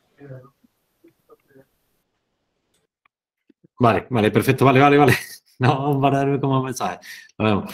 Perfecto. Eh, sí. Vale, pues como comentaba, aquí tenéis el ejemplo este del artículo para que veáis cómo, cómo, cómo queda, ¿vale? Veis que igual en la metodología totalmente estructurada, en este caso no en tres sesiones, pero veis que también un par de páginas, ¿vale?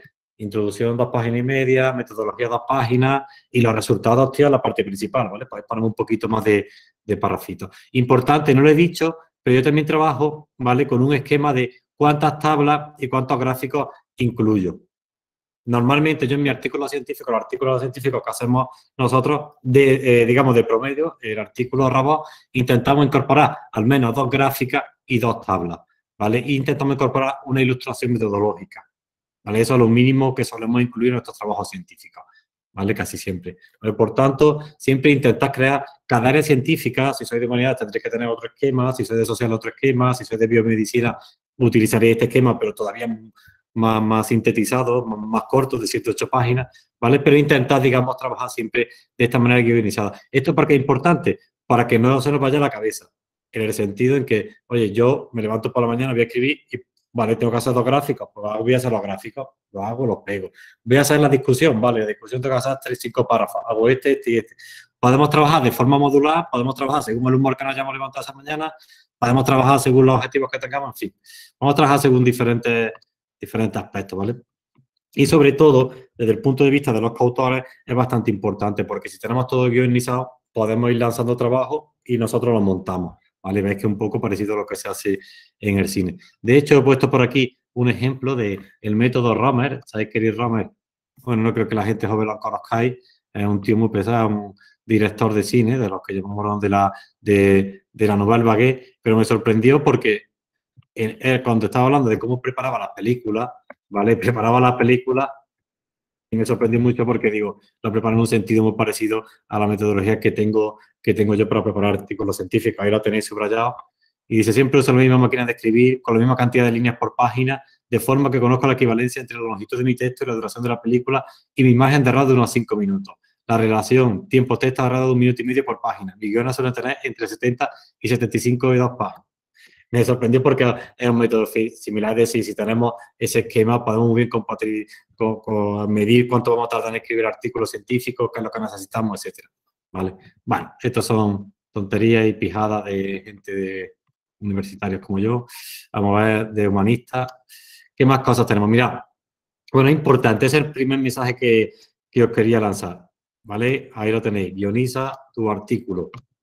Eso es lo primero que tienes que hacer antes de poner a escribir, yo creo que es lo, que es lo más importante. Después es importante que eh, adquiráis una serie de, técnicas de las que venimos hablando muchas veces en nuestro, nuestro grupo, yo sigo publicando, por eso este curso, digamos, es una síntesis de todos los cursos, muchos de los cursos van en torno a lo mismo, cómo publicar, pero una de las cuestiones principales es esta, cómo seleccionar una revista, una revista científica, ¿vale? Tenéis que tener, digamos, Eh, esa cualificación de aprender a, revisar, a, seleccionar revistas científicas. Yo os voy a dar eh, dos métodos principales, ¿vale? Ya nuestro compañero Rubén Alba nos enseñó algunos de ellos, pero yo utilizo dos, métodos principales para seleccionar los artículos, los artículos científicos. También creo que hay un curso por ahí, no sé si está por ahí Rubén o Nico, lo pueden mirar porque tengo por ahí un, curso entero de, yo sigo publicando de selección de revistas científicas, que creo que fue de los primeros que dimos, ¿vale? Mira, esta es la base de datos Web of Science, puede ser Web of Science, puede ser Scopus, puede ser Dimension, puede ser Dialnet, puede ser eh, PubMed, cualquier base de datos que tenga referencia bibliográfica. Lo primero que tenéis que hacer siempre como autores de un artículo científico ¿vale? Es ver qué revistas están publicando sobre este tema. Me he puesto un tema fácil. ¿Qué tema me había puesto? Eh, Almetri, vale. Eh, me he puesto mi tema de investigación en Almetri, una única palabra, ¿vale? Para no un poco... Las búsquedas, como viste que también Rubén, con Rubén, uno de los cursos son mucho más complejas. Pero bueno, en este caso, tengo un artículo que se llama Almétrica en España, indicador almétrico en España, ¿vale? Y digo, voy a ver qué revistas están publicadas sobre almétrica. Fijaros, todas las bases de datos te van a permitir hacer lo que estoy haciendo yo. Voy a buscarlo por topic. ¿Dónde publico un artículo sobre almétrica? Pues fijaros, toda la base de datos nos dan, vamos a ver por aquí, por aquí, por aquí, source Toda la base de datos nos dan las revistas que más publican sobre un tema. He hecho mi búsqueda, ¿vale? Aquí la tenéis. me da 1118 resultados. ¿Y dónde debería mandar este artículo? Pues en primer lugar debería mandarlo aquí a Scientometric, que es la revista que publica más sobre este tema. ¿A cuál debería mandarlo? Aquí tenemos el Journal Informetric, que también publica sobre este tema. El HASIP también publica sobre este tema. Blog One también publica sobre este tema, ¿vale? Veis que haciendo una búsqueda temática en base de datos es muy fácil determinar qué revistas científicas son donde tengo que publicar, porque tenéis que publicar en aquellas revistas que estén especialmente interesadas en el tema, ¿vale? Esta es la metodología o la primera forma que yo recomiendo de seleccionar revistas científicas. Evidentemente, después tenemos que ver otros factores interesantes, como el factor de impacto, el cuartil, lo que sea, pero eso lo enseño ahora. Está bastante, bastante básico y, y, bastante, y bastante efectivo, ¿vale? Si queréis ver si la revista sigue interesada en el tema, fíjate, voy a coger John Informetric, que es una de las revistas con más impacto en mi campo, y digo, mira, tengo un artículo sobre Almetric. Esta revista está interesada. Voy a hacer un refinamiento y voy a ver si todavía está interesada, ¿vale? Y le doy aquí. Y fijaros, me sale un grafiquito aquí de cuántos artículos está publicando esa revista sobre el tema. Bueno, veis que hubo un momento en que hubo muchos artículos y ahora está publicando del orden de 6, 4, 5 artículos, 5 artículos al año sobre este tema, ¿vale?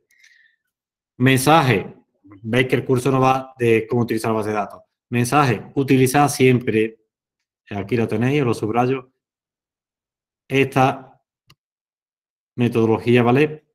para seleccionar revistas, es decir, me veo la base de datos y veo la base de datos qué revistas están publicando sobre el tema. Es fundamental siempre, siempre,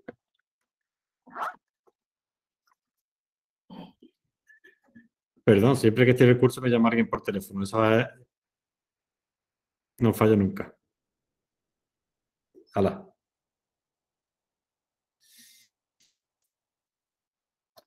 Eh, perdón, perdón, perdón, perdón.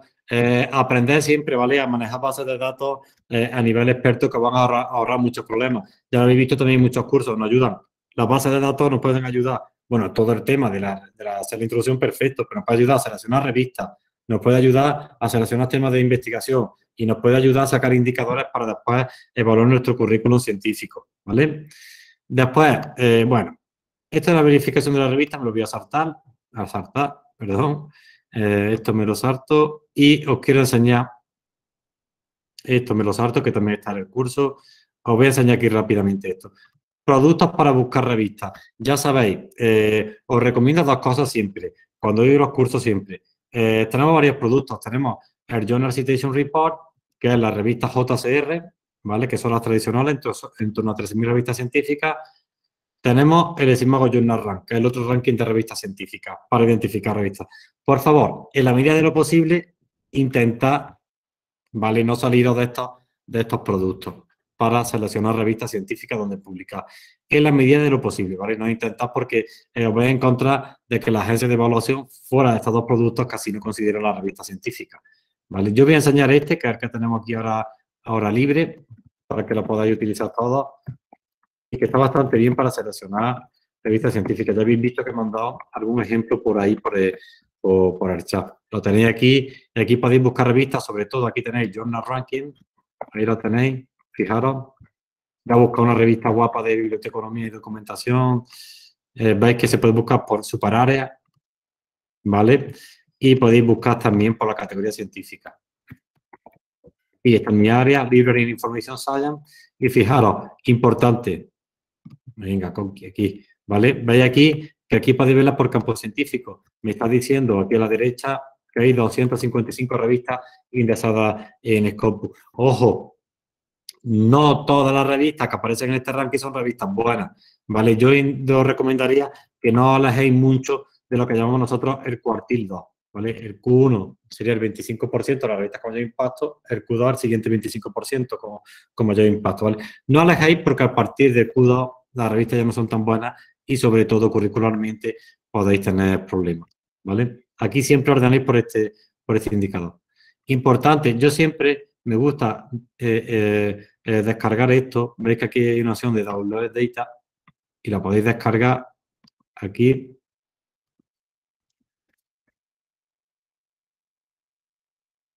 Y lo tenéis los datos aquí descargados. Vale, esto permite decir, oye, pues mira, tengo esta revista, vamos a ver, vamos a ver las del Q1 que me interesan. Voy a hacer una de Big, mira, Big and Society. Esta, bueno, esta suena bien. ¿Vale? Podría ser, digamos, una preselección basada en el título de la revista, qué revistas me interesan y después ya vais viendo un poco. ¿Vale? Después ya tendréis que ver otros aspectos, ¿vale? Pero bueno, ahí veis que podéis seleccionarla bien. Podéis ir navegando por la revista tranquilamente. Entonces es importante, siempre intentad tener un listado de vuestra área de las revistas en las que queréis publicar o las revistas que consideréis más, más relevantes. Mira, me habéis preguntado también por el grupo. Eh, eh, aquí rápidamente también podría ser, también todo lo que hago aquí lo puede ser el JCR, ¿vale? Lo que pasa es que he escogido el Esimago Journal RAM porque en abierto y si hay alguien que no esté conectado y quiere hacer la prueba, pues, pues que, no, que no tenga acceso a WebAssayón, puede, puede utilizar esta base de datos. Fijaros, aquí tenéis otra cosa interesante. Bueno, aquí vamos a poner solo Journal, ¿vale? Que tiene varias, varias, varias modalidades. Ponemos Journal y fijaros, podéis ver por países. De manera que soy de España, pues pongo Spain y puedo ver a lo mejor, fijaros, no me interesa escribir en inglés o no puedo escribir en inglés, digo, mira, quiero publicar un artículo, pues fijaros, en, en mi campo científico, en Library Information Science, eh, tenemos un total de ocho revistas en, España, ¿vale? Y fijaros, tenemos una que es el profesional de información que está en el Q1. Oye, pues esto es una buena revista. Si no tengo material y no, tengo que escribir, no quiero escribir en inglés, quiero escribir directamente en español, fijaros, aquí identifico una revista española del Q1. Y hay otra, que es la revista española de documentación científica, que no tiene impacto, pero está en el Q2. Bueno, pues es una, una opción interesante. Igualmente, vamos a coger otro campo, Sociology, vamos a coger o aquí, Sociology and Political Science, y vamos a poner aquí Colombia. Bueno, pues ahí veis que se puede hacer perfectamente la, consulta. Podéis identificar las revistas con más impacto, tanto a nivel global como por países, como por área científica.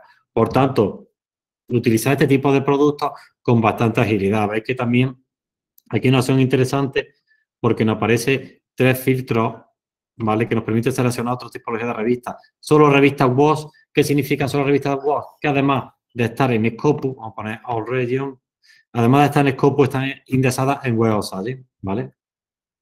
O sea, que son revistas ya un poquito mejores. Y aquí tenemos otra revista en acceso abierto. Si queremos solo quedarnos con revistas en acceso abierto.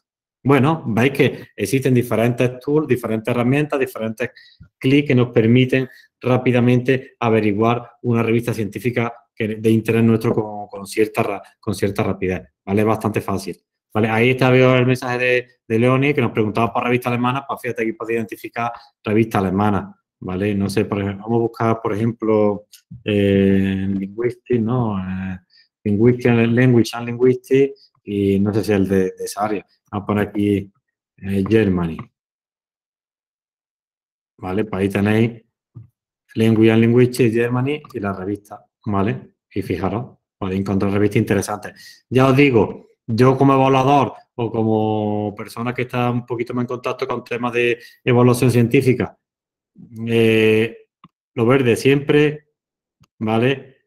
El Q2, bueno, eh, de vez en cuando podéis publicar algo y si os metéis en esta zona podéis tener problemitas a, la hora de que evalúen. ¿eh? No digo que las revistas sean malas, yo digo que tenéis que siempre, sabéis que os digo, tenéis que combinar un poco entre vuestro interés de publicación y vuestro interés de curricular.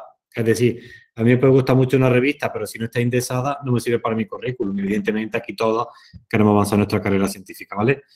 Muy bien, eso es el eh, tercer mensaje que os quería lanzar. Llevamos ya tres mensajes. Organizar, llevamos el mensaje de seleccionar la revista por búsqueda temática, ¿vale? Porque es la parte de selección de revistas. Y llevamos el tercer mensaje de aprender a utilizar bien tanto el JCR como el Simago Journal. Os he puesto alguna base de datos más, ¿vale? Por si queréis darle un ojo, que es MIAR, que nos da otra información interesante, ¿vale? Pero veis que nos da información mm, más de, por ejemplo, nosotros nos dicen que base de datos está indexada la revista. Esta es la revista, la ficha de una revista, y nos da otra información sobre todo base de datos. Pero bueno, anécdota, no le hagáis tampoco mucho caso. Prefiero que os dediquéis a estas dos cosas, al Simago Journal Rank al Simago Journal Rank, Journal Citation Report y Simago Journal Rank, ¿vale? Que, que, otros productos. ¿Qué más cuento? Importante, hay aspectos de la, de, de, la autoría, ¿vale? Vale, he puesto aquí esto de, eh, de eh, la autoría importante, ¿en qué sentido? Mirad, cuando vamos a escribir un artículo científico, ¿vale? Estamos muchos autores y, muy, y muchas autoras, ¿vale? Tenemos que intentar una cuestión importante. Antes de ponernos a escribir el artículo científico, deberíamos saber quiénes son los autores del... Antes de incluso hacer investigación, deberíamos saber quiénes son los firmantes de los trabajos científicos, ¿vale? Porque podéis encontrar eh, de repente que estéis publicando un trabajo científico y cuando se vaya a publicar algún coautor ha metido otro autor sin pediros permiso. Es importante que con los coautores delimitéis bien quiénes son los autores ¿vale? del artículo científico. Es una cuestión fundamental. Es fundamental también que establezcáis claramente y unívocamente con todos los autores antes de poner a escribir, ¿eh? os digo, antes de poner a escribir, porque os puede llevar una sorpresa desagradable, antes de poner a escribir, tenéis que establecer en qué posición de firma debe ir cada uno de los autores de un trabajo científico. ¿Por qué es importante? Porque dependiendo de qué firma, de qué lugar ocupemos la firma, eh, se nos dará un valor nuestro trabajo. Es decir, los autores mejor valorados que son, son los primeros autores de los trabajos científicos. Por tanto, veréis que con vuestros autores va a haber leches para ir en la primera posición. Si no tenéis mucho poder en vuestro grupo, pues puede ser que que alguien que no haya hecho mérito ocupe esa primera posición. Normalmente, eh, esto de las posiciones científicas, los artículos, eh, se llega por consenso. Yo con Nico, cuando hacemos un artículo, pues discutimos, oye, eh, la idea fue mía, yo he hecho la recolección de datos, he hecho esto y debo ser el primer, el primer firmante de trabajo, ¿vale? Se llega previamente la escritura, se llevará este consenso. Importante, por ejemplo, ¿qué tipo de consenso alcanzamos nosotros? ¿Quiénes son los importantes? Hay tres tipos de coautoría importantes. Primer autor, ¿vale? Que digamos, la persona que ha tenido la, la, idea del trabajo científico, eh, ha llevado la responsabilidad, se ha encargado además de dirigirlo, de hacer esto del guion, de saber qué tiene que hacer cada autor, de coordinarlo, ¿vale? De, en fin, eh, hace la mayor parte del trabajo de, coordinación y sobre todo eh, hace la, expone la idea inicial del artículo científico y cómo debe llevarse a cabo. ¿Vale? Eso es importante. Después hay un, hay un, autor, un autor importante al que tenéis que, que, enfrentar, que es el último autor. El último autor casi siempre suele ser la persona senior del grupo, la persona con mayor edad, suelen ser los catedráticos, suelen ser los directores de vuestras tesis doctorales, ¿vale? Es muy raro que eh, una persona ya con una carrera científica, digamos que tiene 60 años, tiene 10 proyectos de investigación, 200 papers, se ponga de primer autor. Normalmente suele ir de último autor. Por tanto, todos los que sean jefes de vuestro grupo o, digamos, son investigadores senior, no extrañe que ocupen la última posición. Y hay una, una, posición importante que debéis considerar, ¿vale?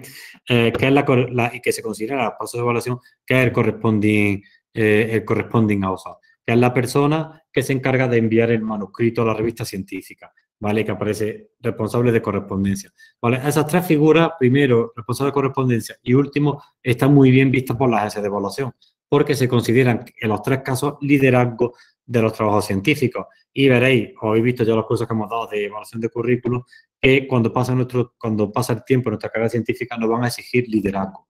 Y una forma de mostrar liderazgo es demostrar que tenemos un determinado número de artículos en una determinada posición científica. ¿Vale? Por ejemplo, eh, con tres conocidos nuestros, eh, con Wences, con Nico y yo mismo, en la forma que organizamos que, bueno, uno se va de primero, otro va de corresponde y otro va de último. Después, en el siguiente artículo, otro irá de, de corresponde, otro irá de primero y otro de último. Y digamos, vamos intercambiando estas posiciones para que un poco nos sirva a todos eh, en la carrera científica, pero yo os digo que casi siempre son consensos previos que establecemos antes de escribir artículos científicos, de manera que no, que no tenemos sorpresa. Bueno, aquí importante, esto mola, a mí me parece que una iniciativa súper eh, importantísima, necesaria y, que, clarificadora, que es CREDI, ¿vale? Que la iniciativa CREDI eh, permite diferenciar el reconocimiento de la contribución de cada autor en un documento, en un documento académico. Bueno, he puesto aquí la entradita esta del blog de, de Universo Abierto, ¿vale? Y fijaros, esto mola porque establecen 14 roles. Conceptualización, curación de datos, análisis formal, todo lo que hacemos, ¿vale? Eh, todo lo que hacemos normalmente en los artículos. Existen 14 roles, ¿vale? Entonces, cuando la revista científica nos pide que cada uno de los autores diga qué ha hecho en función de estos roles, ¿vale? Al final de, del artículo, ¿vale? Esto nos ayuda a saber muy bien qué ha hecho cada uno de, de, de los autores. tengo aquí algún ejemplito. Ah, sí, mira, aquí tengo algún ejemplito de autoría crédito. Tenemos aquí un artículo, Plot One. Esto lo digo, ¿vale? Porque esto yo creo que se va a extender y se va a globalizar en vez de la revista científica. Es decir, que cuando vayamos a publicar un artículo a la revista, digamos exactamente qué hemos hecho cada uno de los autores. Exactamente, ¿vale? Bueno, aquí veis. About the author, Annie Rosenthal, rol, conceptualización, data curation, formal analysis, investigation, methodology. Esto es todo lo que ha hecho esta autora. El ERI, pues este ha trabajado un poquito menos. Como ha trabajado menos, va en el medio. El ERI eh, ha hecho formal analysis, resources, supervision, writing, and review, and editing. Y fijaros, y aquí eh, Rohini Haresta, pues este ha hecho un poquito de más. ¿Vale? Veis ahí, es importante, ¿vale? Por tanto, que seáis conscientes de lo que habéis hecho en el artículo científico y en función de lo que habéis hecho, cada uno ocupa una posición y además que seáis conscientes que en el futuro vais a tener que declarar que, que había hecho. Ese es el cuarto mensaje que os doy, ¿vale? Sobre, sobre la autoría. ¿Cómo vamos de tiempo? Vale. Eh, ¿Qué más os cuento? Es importante lo de la coautoría, ¿vale? Entonces, voy a bajar un poquito, selección de la revista. ¿Qué revista? Aquí.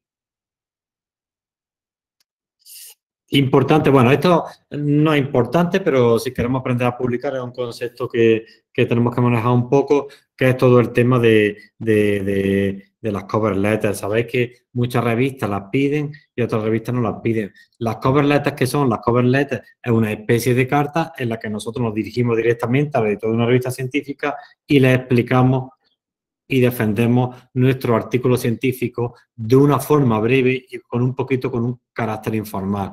He puesto aquí un poco para que hagan una idea que lo que hacemos es vender nuestro trabajo al editor de la revista científica.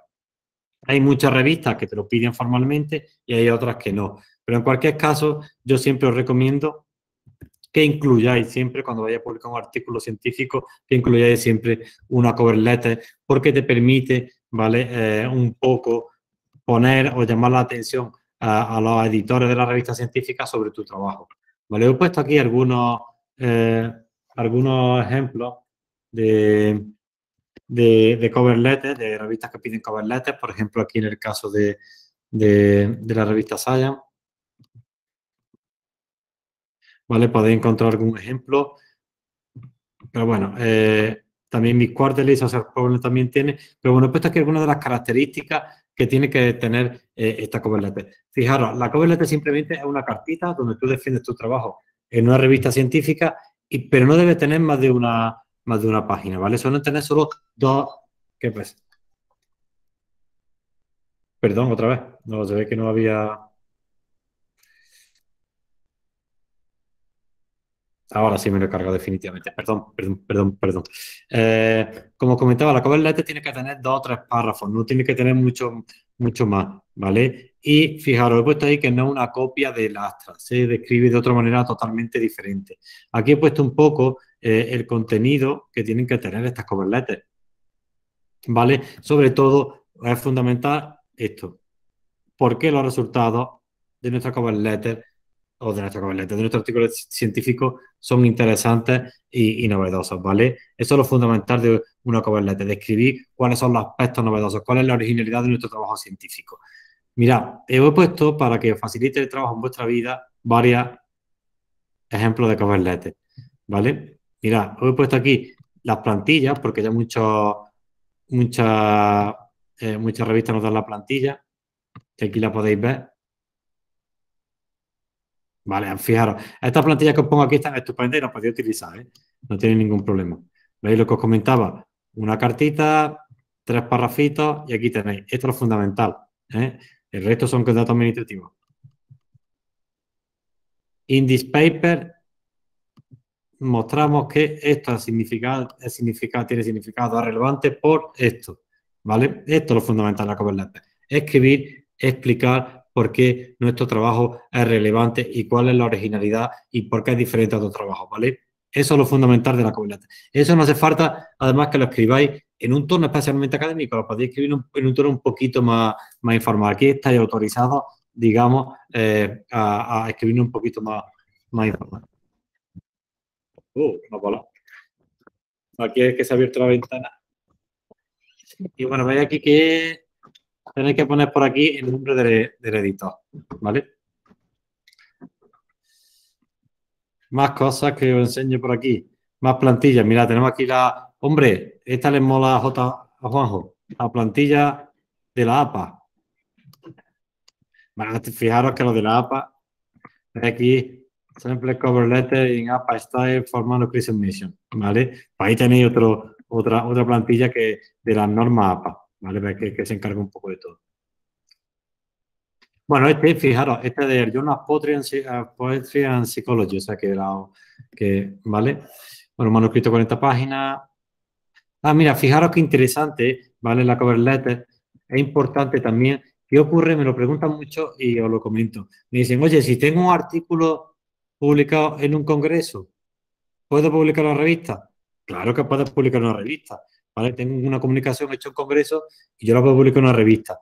Con dos condiciones si tengo un manuscrito de un congreso y lo quiero publicar en una revista, cuando lo mando a la revista, tengo que incluir algo de información o, digamos, hacer una versión ampliada de esa comunicación.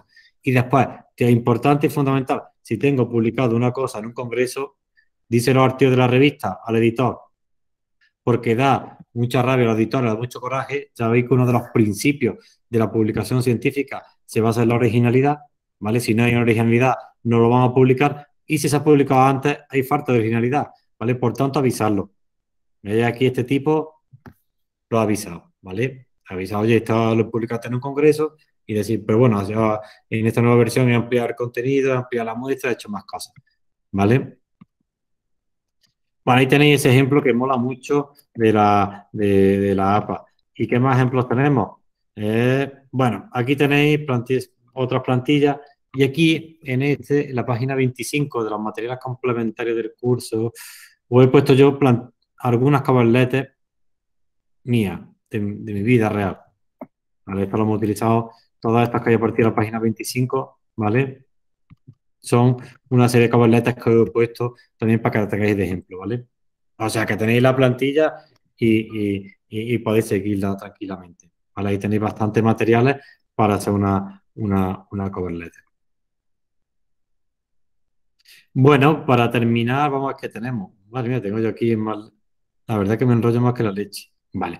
Eh, vale, aquí hay un mensaje claro que, os quiero mandar del proceso de revisión por pares. Os he puesto ahí varias, varias cosas. Bueno, yo creo que todos estamos familiarizados, todos conocemos ya eh, el proceso de revisión por pares. ¿vale? No creáis que es una cosa demasiado moderna. Os he puesto aquí una nota histórica de cuando se empleó eh, el proceso de revisión por pares, ¿vale? Era la forma habitual eh, anteriormente que tenía la sociedad científica de, revisar, pero sobre todo he puesto aquí que el proceso de revisión por pares es un proceso que, se generaliza a partir de 1940 y sobre todo lo utiliza la revista JAMA, el Journal of the American Medical Association. Bueno, aquí he puesto el proceso general de revisión por pares y simplemente dos cuestiones dos cuestiones que os quiero mandar, dos mensajes básicos. Primero, hay dos tipos de, revisión, ¿vale? Está la revisión editorial y después la revisión del manuscrito, ¿vale? La revisión editorial eh, consiste en un proceso donde el editor intenta cribar o hacer una precriba de los artículos que le van llegando, ¿vale? Y lo que hace es que se han de recibir 100 artículos ellos realmente no pueden evaluar 100 artículos, pueden evaluar 20, 30, ¿vale? Por tanto, establecen procesos de revisión editorial para quitarse esos 70, 80 artículos que no pueden pasar al proceso de revisión por pares, Este proceso es importante, ¿vale? Porque esto realmente el editor hace así, este no me gusta por el tema, este no me gusta por el formato, este no me gusta por esto, y te lo, se los quita de medio directamente, ¿vale? Entonces, digamos, casi una especie de rechazo editorial directo. Uno de los, eh, como os comenté antes, tenéis que cuidar mucho el aspecto forma de los artículos. Y una de las veces, uno de los casos que más, que por los que más se rechaza artículos de proceso de edición editorial es por las cuestiones formales, pues porque no hemos sabido presentar artículos científicos, es porque no hemos presentado bien las referencias bibliográficas, es porque no hemos seguido la plantilla del editor. Todo lo que no esté bien presentado, ¿vale? O todo lo que no esté presentado según las normas de la revista científica va a la calle directamente. ¿Vale? Hemos puesto aquí ejemplos de una revisión editorial.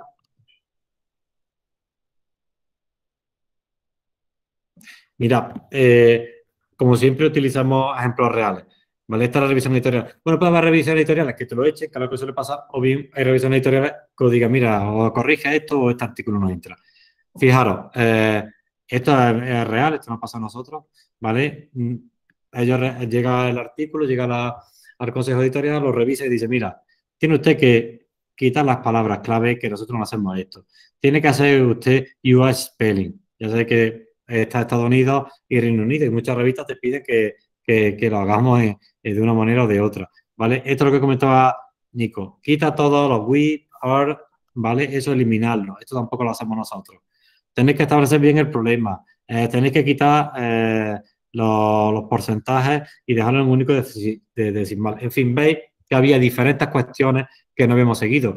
Esto son cuestiones que nosotros, por nuestra experiencia, eh, lo que hemos hecho es que no habíamos seguido la norma de la revista, ¿vale? Y por eso no lo habían rechazado. Dice, si ustedes quieren participar en nuestra revista, tienen que seguir, tienen que seguir de forma clara y unívoca las normas. Y veis que te lo rechazan. Por eso tenéis que tener mucho cuidado con los aspectos formales, ¿vale? Muchísimo, muchísimo cuidado. A ver qué pone aquí, ejemplo de un rechazo. Ah, bueno, aquí está, ¿veis? Estas cartas yo las recibo habitualmente, ¿eh? no cree que porque de cómo publicar no me rechazan nada. ¿Vale? Normalmente me suelen rechazar más los artículos que me lo, que me lo aceptan. Bueno, esto veis que aquí un paper que hemos enviado aquí a la revista en Informetry y esto, es lo que esto suele ser la carta que te manda desalentadora cuando te rechazan un artículo. Dear Mr. Torres, thank you por mandar el artículo. Normalmente lo que te dicen los pájaros de la revista es esto. Este artículo no está dentro de los intereses o de la materia de interés de la revista científica, de nuestra revista, ¿vale? Es la, lo que recibí. Normalmente, ¿qué ocurre? Cuando recibí un rechazo editorial, esto no interesa, fuera a la calle, se lo devuelven al autor, no podía hacer nada, ¿vale? Yo recomiendo que tampoco reclaméis, mucho, ¿vale? Por tanto, importante, importante, veis aquí una cuestión que ya hemos comentado y que enlaza con el tema anterior. Eh, tengo que escoger bien la revista, ¿vale? Para que no me digan que está fuera del scope. Si yo estudio sobre las métricas, pues busco las revistas que más publican sobre las métricas para saber que están interesados en las métricas. ¿vale? Y no equivocarme en la elección. Muchas veces los rechazos son tanto por aspectos formales, porque no hemos respetado las normas, pero también porque no hemos sido capaces de seleccionar bien la revista científica, porque no le interesa el tema sobre el que estamos publicando. Esto es importante porque cada vez que enviamos un artículo en una revista científica, perdemos tiempo, perdemos energía y perdemos y nuestro artículo va envejeciendo. Fijaros que cada vez que mandamos un artículo a una revista, tenemos que coger el artículo, reescribir la referencia bibliográfica, adaptarlo a la revista y esto es un periodo que dura, puede durar una semana, dos semanas, tenemos que enviarlo, recibir la respuesta. ¿Vale? Imaginaros que nos hemos equivocado en la revista porque no le interesa el tema y nos hemos equivocado. Entre que lo mandamos y lo enviamos, perdemos un mes. Y ahora cojo el artículo y tengo que adaptarlo a la forma de otra revista. Ya pierdo otra semana. ¿Vale? Entonces, por eso parece una tontería, pero el proceso de elección de la revista científica es una cosa que tenéis que hacer con sumo cuidado, ¿vale? Porque se puede suponer, si no lo hacéis bien, un sistema, digo, un sistema, una forma, eh, puede hacer perder muchísimo tiempo, ¿vale? También eh, alertaros que la revisión editorial, ¿vale? Eh, utilizan ya sistemas antiplagio.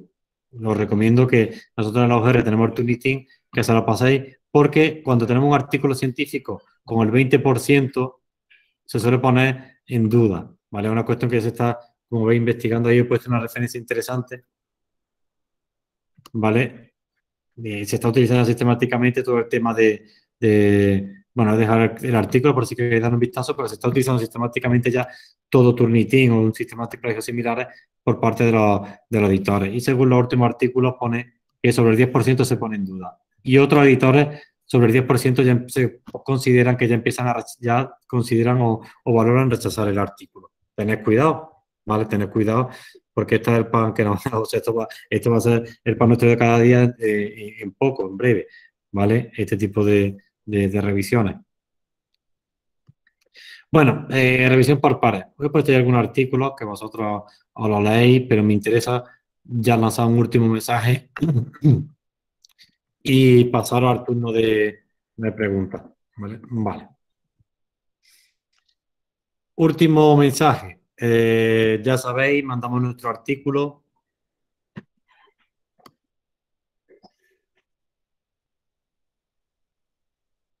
Vale, aquí lo tenemos.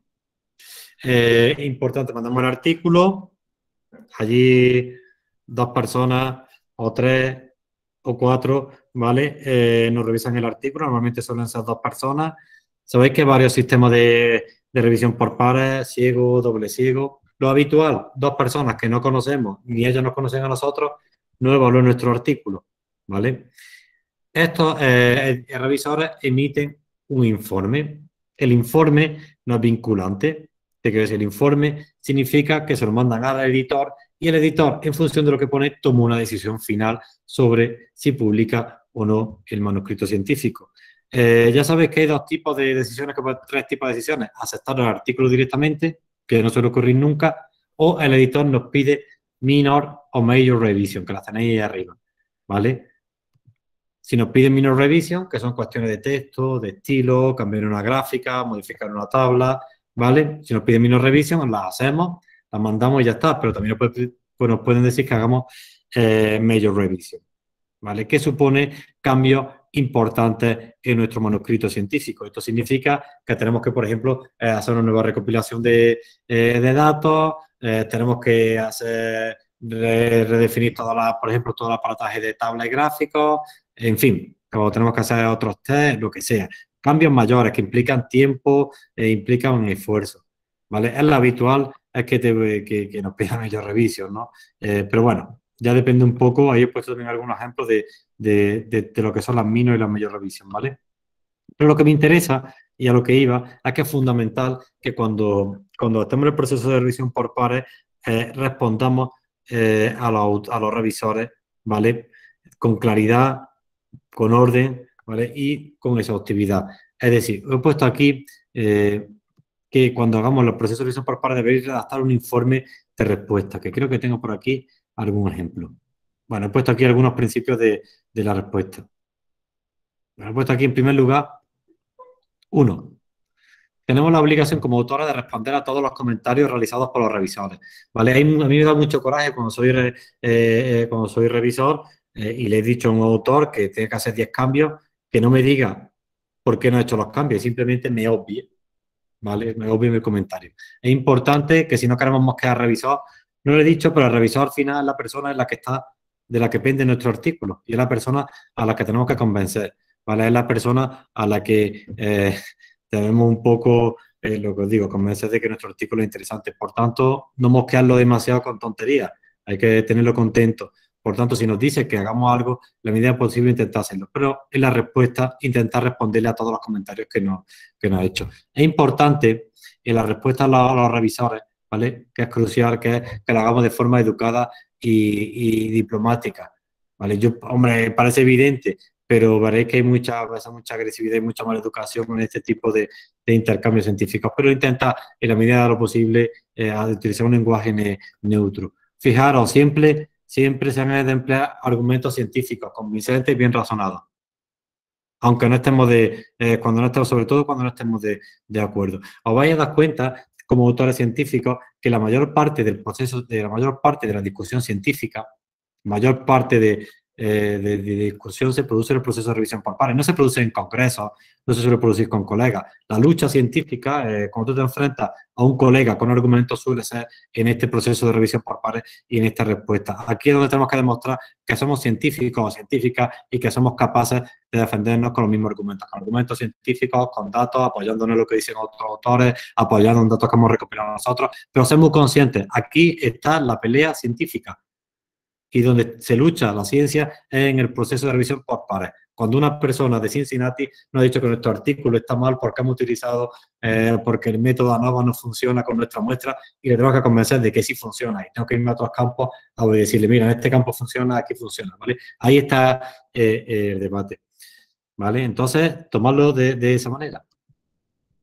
¿Qué más cosas cuento? Fijaros, importante. Yo siempre os digo que si el autor, si el revisor nos dice ¿vale? Que eh, nos comenta, oye, hay pequeños cambios que nos dan la lata, pero que es mejor no discutir. Si la revisión nos dice, oye, ¿por qué no cambia la columna X a la, columna, a la posición tercera en vez de... Vale, lo cambio. Si tardo menos de media hora en hacer un cambio, lo hago.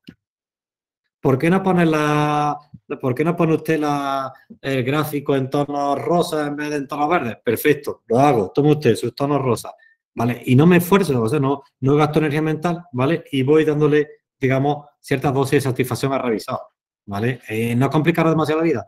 Oye, ¿por qué no puedo incluir un párrafo donde haga usted una, un, donde recoja los métodos estadísticos recientemente utilizados? Vale, le redacto usted un párrafo, señor, ¿vale?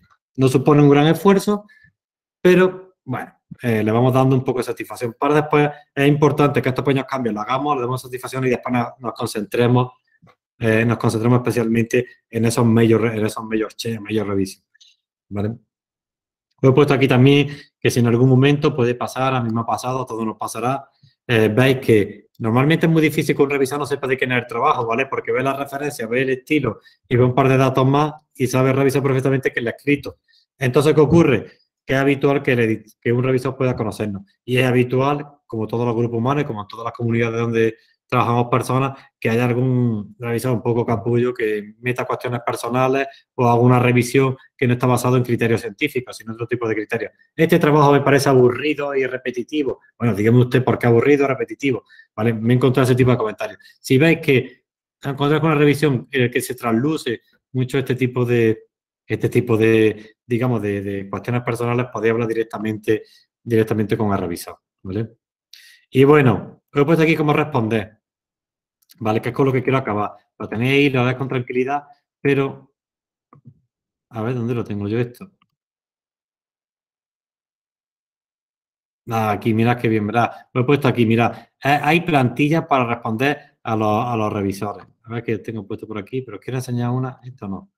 Eh, ejemplos de revisiones. Vamos a ver algunos. Bueno, aquí veis algunos ejemplos de revisiones que he puesto. Ah, mira, eh, mira, vale, este me va, este me va estupendo, me va estupendo. Este lo hice el otro día, este lo publicamos hace poco, ¿vale? Lo, lo publiqué con, con, con Wens hace poco, una revista española, ¿vale? Eh, importante, siempre que respondo a los revisores, la plantilla, tenéis aquí, ¿vale? Voy a explicar solo esta porque no tenemos ya tiempo y no me quiero enrollar más. Aquí tenéis, aquí tenéis otra cientometría, eh, ¿vale? Aquí tenéis más ejemplos de respuesta. Hay aquí algunas chulísimas, ¿eh? Os recomiendo que, que, que, que, las veáis, ¿vale? Porque ahí he puesto aquí de cómo responder eh, y hay algunos ejemplos magníficos de cómo tenéis que, que, responder, qué lenguaje tenéis que utilizar, ¿vale? Más ejemplos de revisiones. He puesto una colorida, Mira, una respuesta colorida, esta está chula. Fijaros, ojo, fijaros cómo mola esto. ¿eh? Hay revisiones que pueden ser más largas que el artículo científico. ¿Vale? Esta tiene nueve páginas. Mira, mira, qué guapo. ver, tío, te lo he puesto de colores. ¿Vale? Perfecto, veis que se distingue. Una cosa fundamental, sé lo que ha comentado el revisor y la respuesta del autor. Que dice, esto está hecho. ¿Veis? Rápidamente esto lo un revisor y dice, de puta madre, ¿qué te dije? Esto, esto y esto, esta, esta respuesta me gusta. Por eso le he puesto de, ejemplo con colores, ¿vale? Veis que ahí están discutiendo, hay algunas que son cortitas y otras cosas no, ¿vale? Dale un vistacillo, aquí he puesto una que es bonita, no sé por qué me acuerdo de esta más que... Hay gente que se lo ocurra. Esto también, ¿veis? Pero veis, fijaros, eh, cuestión, no se toman ninguno de estos tipos se toma la ligera la respuesta a los revisores. Tío, ponen empeño porque eh, respetan la revista, eh, quieren luchar ese artículo y evidentemente una respuesta de estas lleva mucho trabajo. Mira, este, este es un formato parecido al nuestro, que lo comento ya. Nuestro formato es el siguiente. Uno, pongo una, una, una de, un resumen de los cambios principales del texto, ¿vale?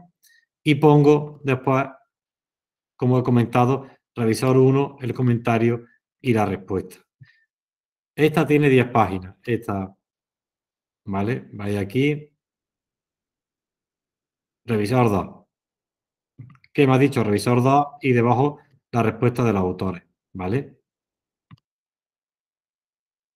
Bien ordenado. Fijaros que a veces la respuesta, fijaros esta respuesta.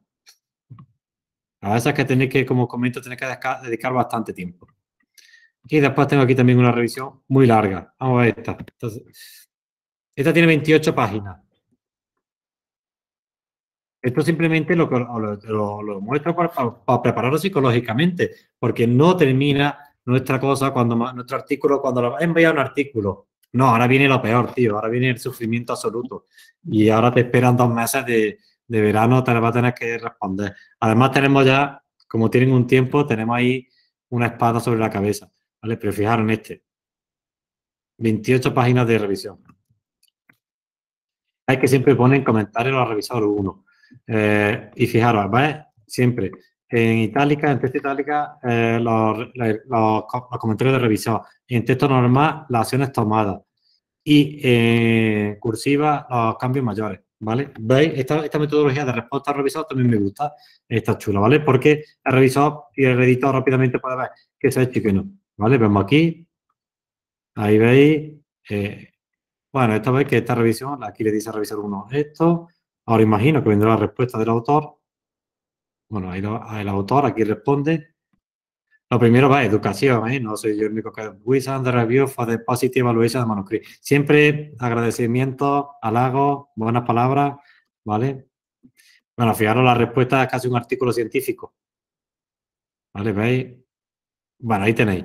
Aquí he puesto, la, como comentaba, aquí está, la última que yo he tenido con, con ¿vale? Y con esto voy a terminar ya eh, la exposición, ¿vale? Ahí tenéis el ejemplo, como digo, ¿cómo me gusta mi responder a los revisores? Uno, una parte primera donde hago un resumen de los cambios principales y después una segunda parte de respuesta a cada una de las cuestiones.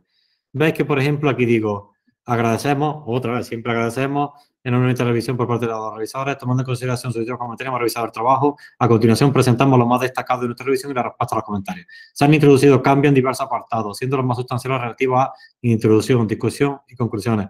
Se han incorporado cinco nuevas referencias, ¿vale? Y a continuación, respondemos a los revisores. a mí me gusta este formato. Comentario.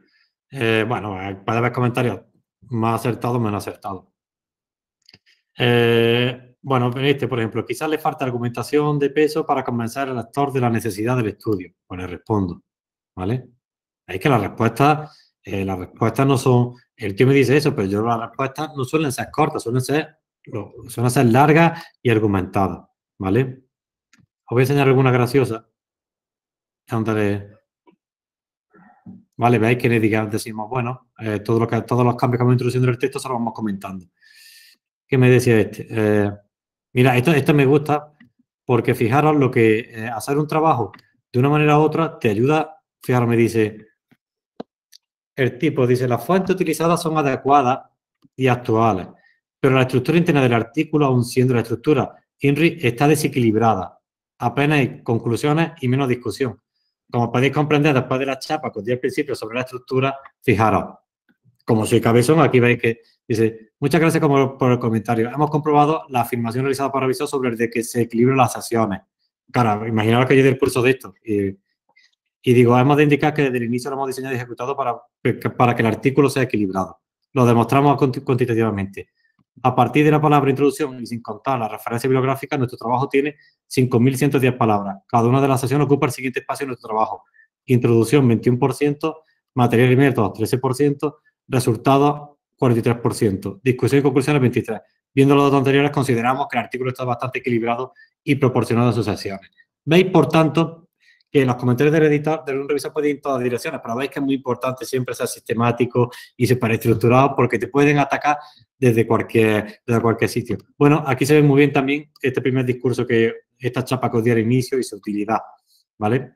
Bueno, ahí veis más comentarios, no, no os quiero entretener, por ahí también hay alguna parte divertida en el que le meto caña ¿vale? Bueno, por ejemplo, en esta, fijaros que a veces los comentarios de revisores pueden ser tanto como esto. Yo cuando soy revisor no hago estas cosas. Yo cuando soy revisor soy breve, pero digo los, problemas que tiene y que hay que cambiar. Pero fijaros, apenas conclusiones originales justificadas por los resultados. Y tampoco se realiza una discusión consistente. Tan solo de forma general y muy breve se realiza una conclusión general, etc. Se me dice que no hago discusión y soy consistente.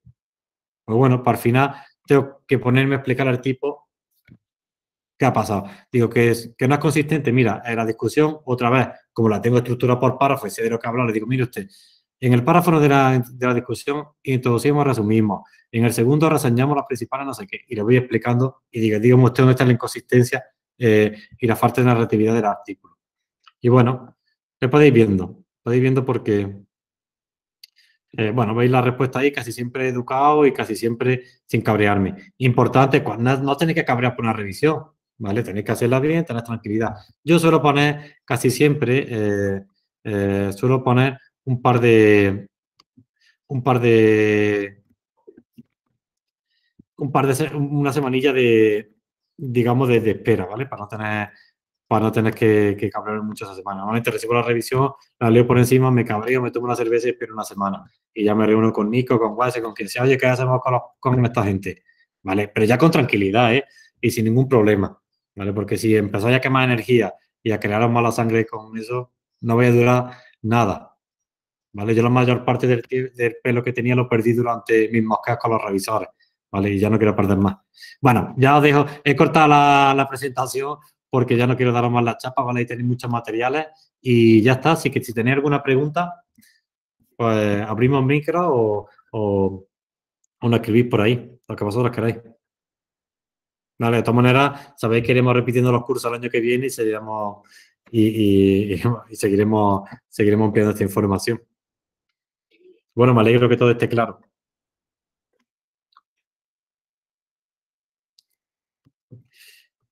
Muy bien, pues si no tenéis más preguntas, ya sabéis que esto no se acaba. Eh, se acaban los cursos presenciales. Efectivamente, dice Nico que vamos por la cerveza, me parece lo más inteligente que se ha dicho en este curso esta mañana. Eh, así que tomarlo con paciencia todo, ¿eh? cuestión de publicación, tomarlo con paciencia, hacer caso a vuestros directores, eh, aprender de vuestros compañeros, intentar siempre estar receptivos, no cabrearos. ¿vale? Y tener mucha paciencia porque habéis visto que son muchas cosas que las que tenéis que aprender. Normalmente todas estas cosas se, aprende, se aprende sin enteraros. Os vais, son cosas que se aprenden naturalmente, como el hablar y el caminar y el montar en bici, ¿vale? Con tranquilidad y con buenos compañeros que sean generosos, os vayan enseñando cada una de las cosas. Eh, como comentaba, ya no tenemos más cursos eh, virtuales, ¿vale? Eh, ya cerramos la temporada. Pero bueno, ya sabéis que el grupo de Telegram lo vamos a dejar abierto. Y bueno, ahí podéis preguntar lo que os dé la gana y, vamos a seguir atendiendo. El año que viene a ver si podemos montar ya la nueva página web y a ver qué, os traemos de novedades. Y ya está. Si no nos vemos por, por aquí, un abrazo muy fuerte y que tengáis un buen verano. Disfrutarlo y por lo menos algún artículo tenéis que preparar en verano. ¿eh? Ya, os queda trabajo por delante. o dos. Aunque bueno, este verano será más para descansar un poquillo, ¿no? Y después ya, ya veremos qué pasa el curso. Venga, un abrazo a todos. Un abrazote, un abrazote.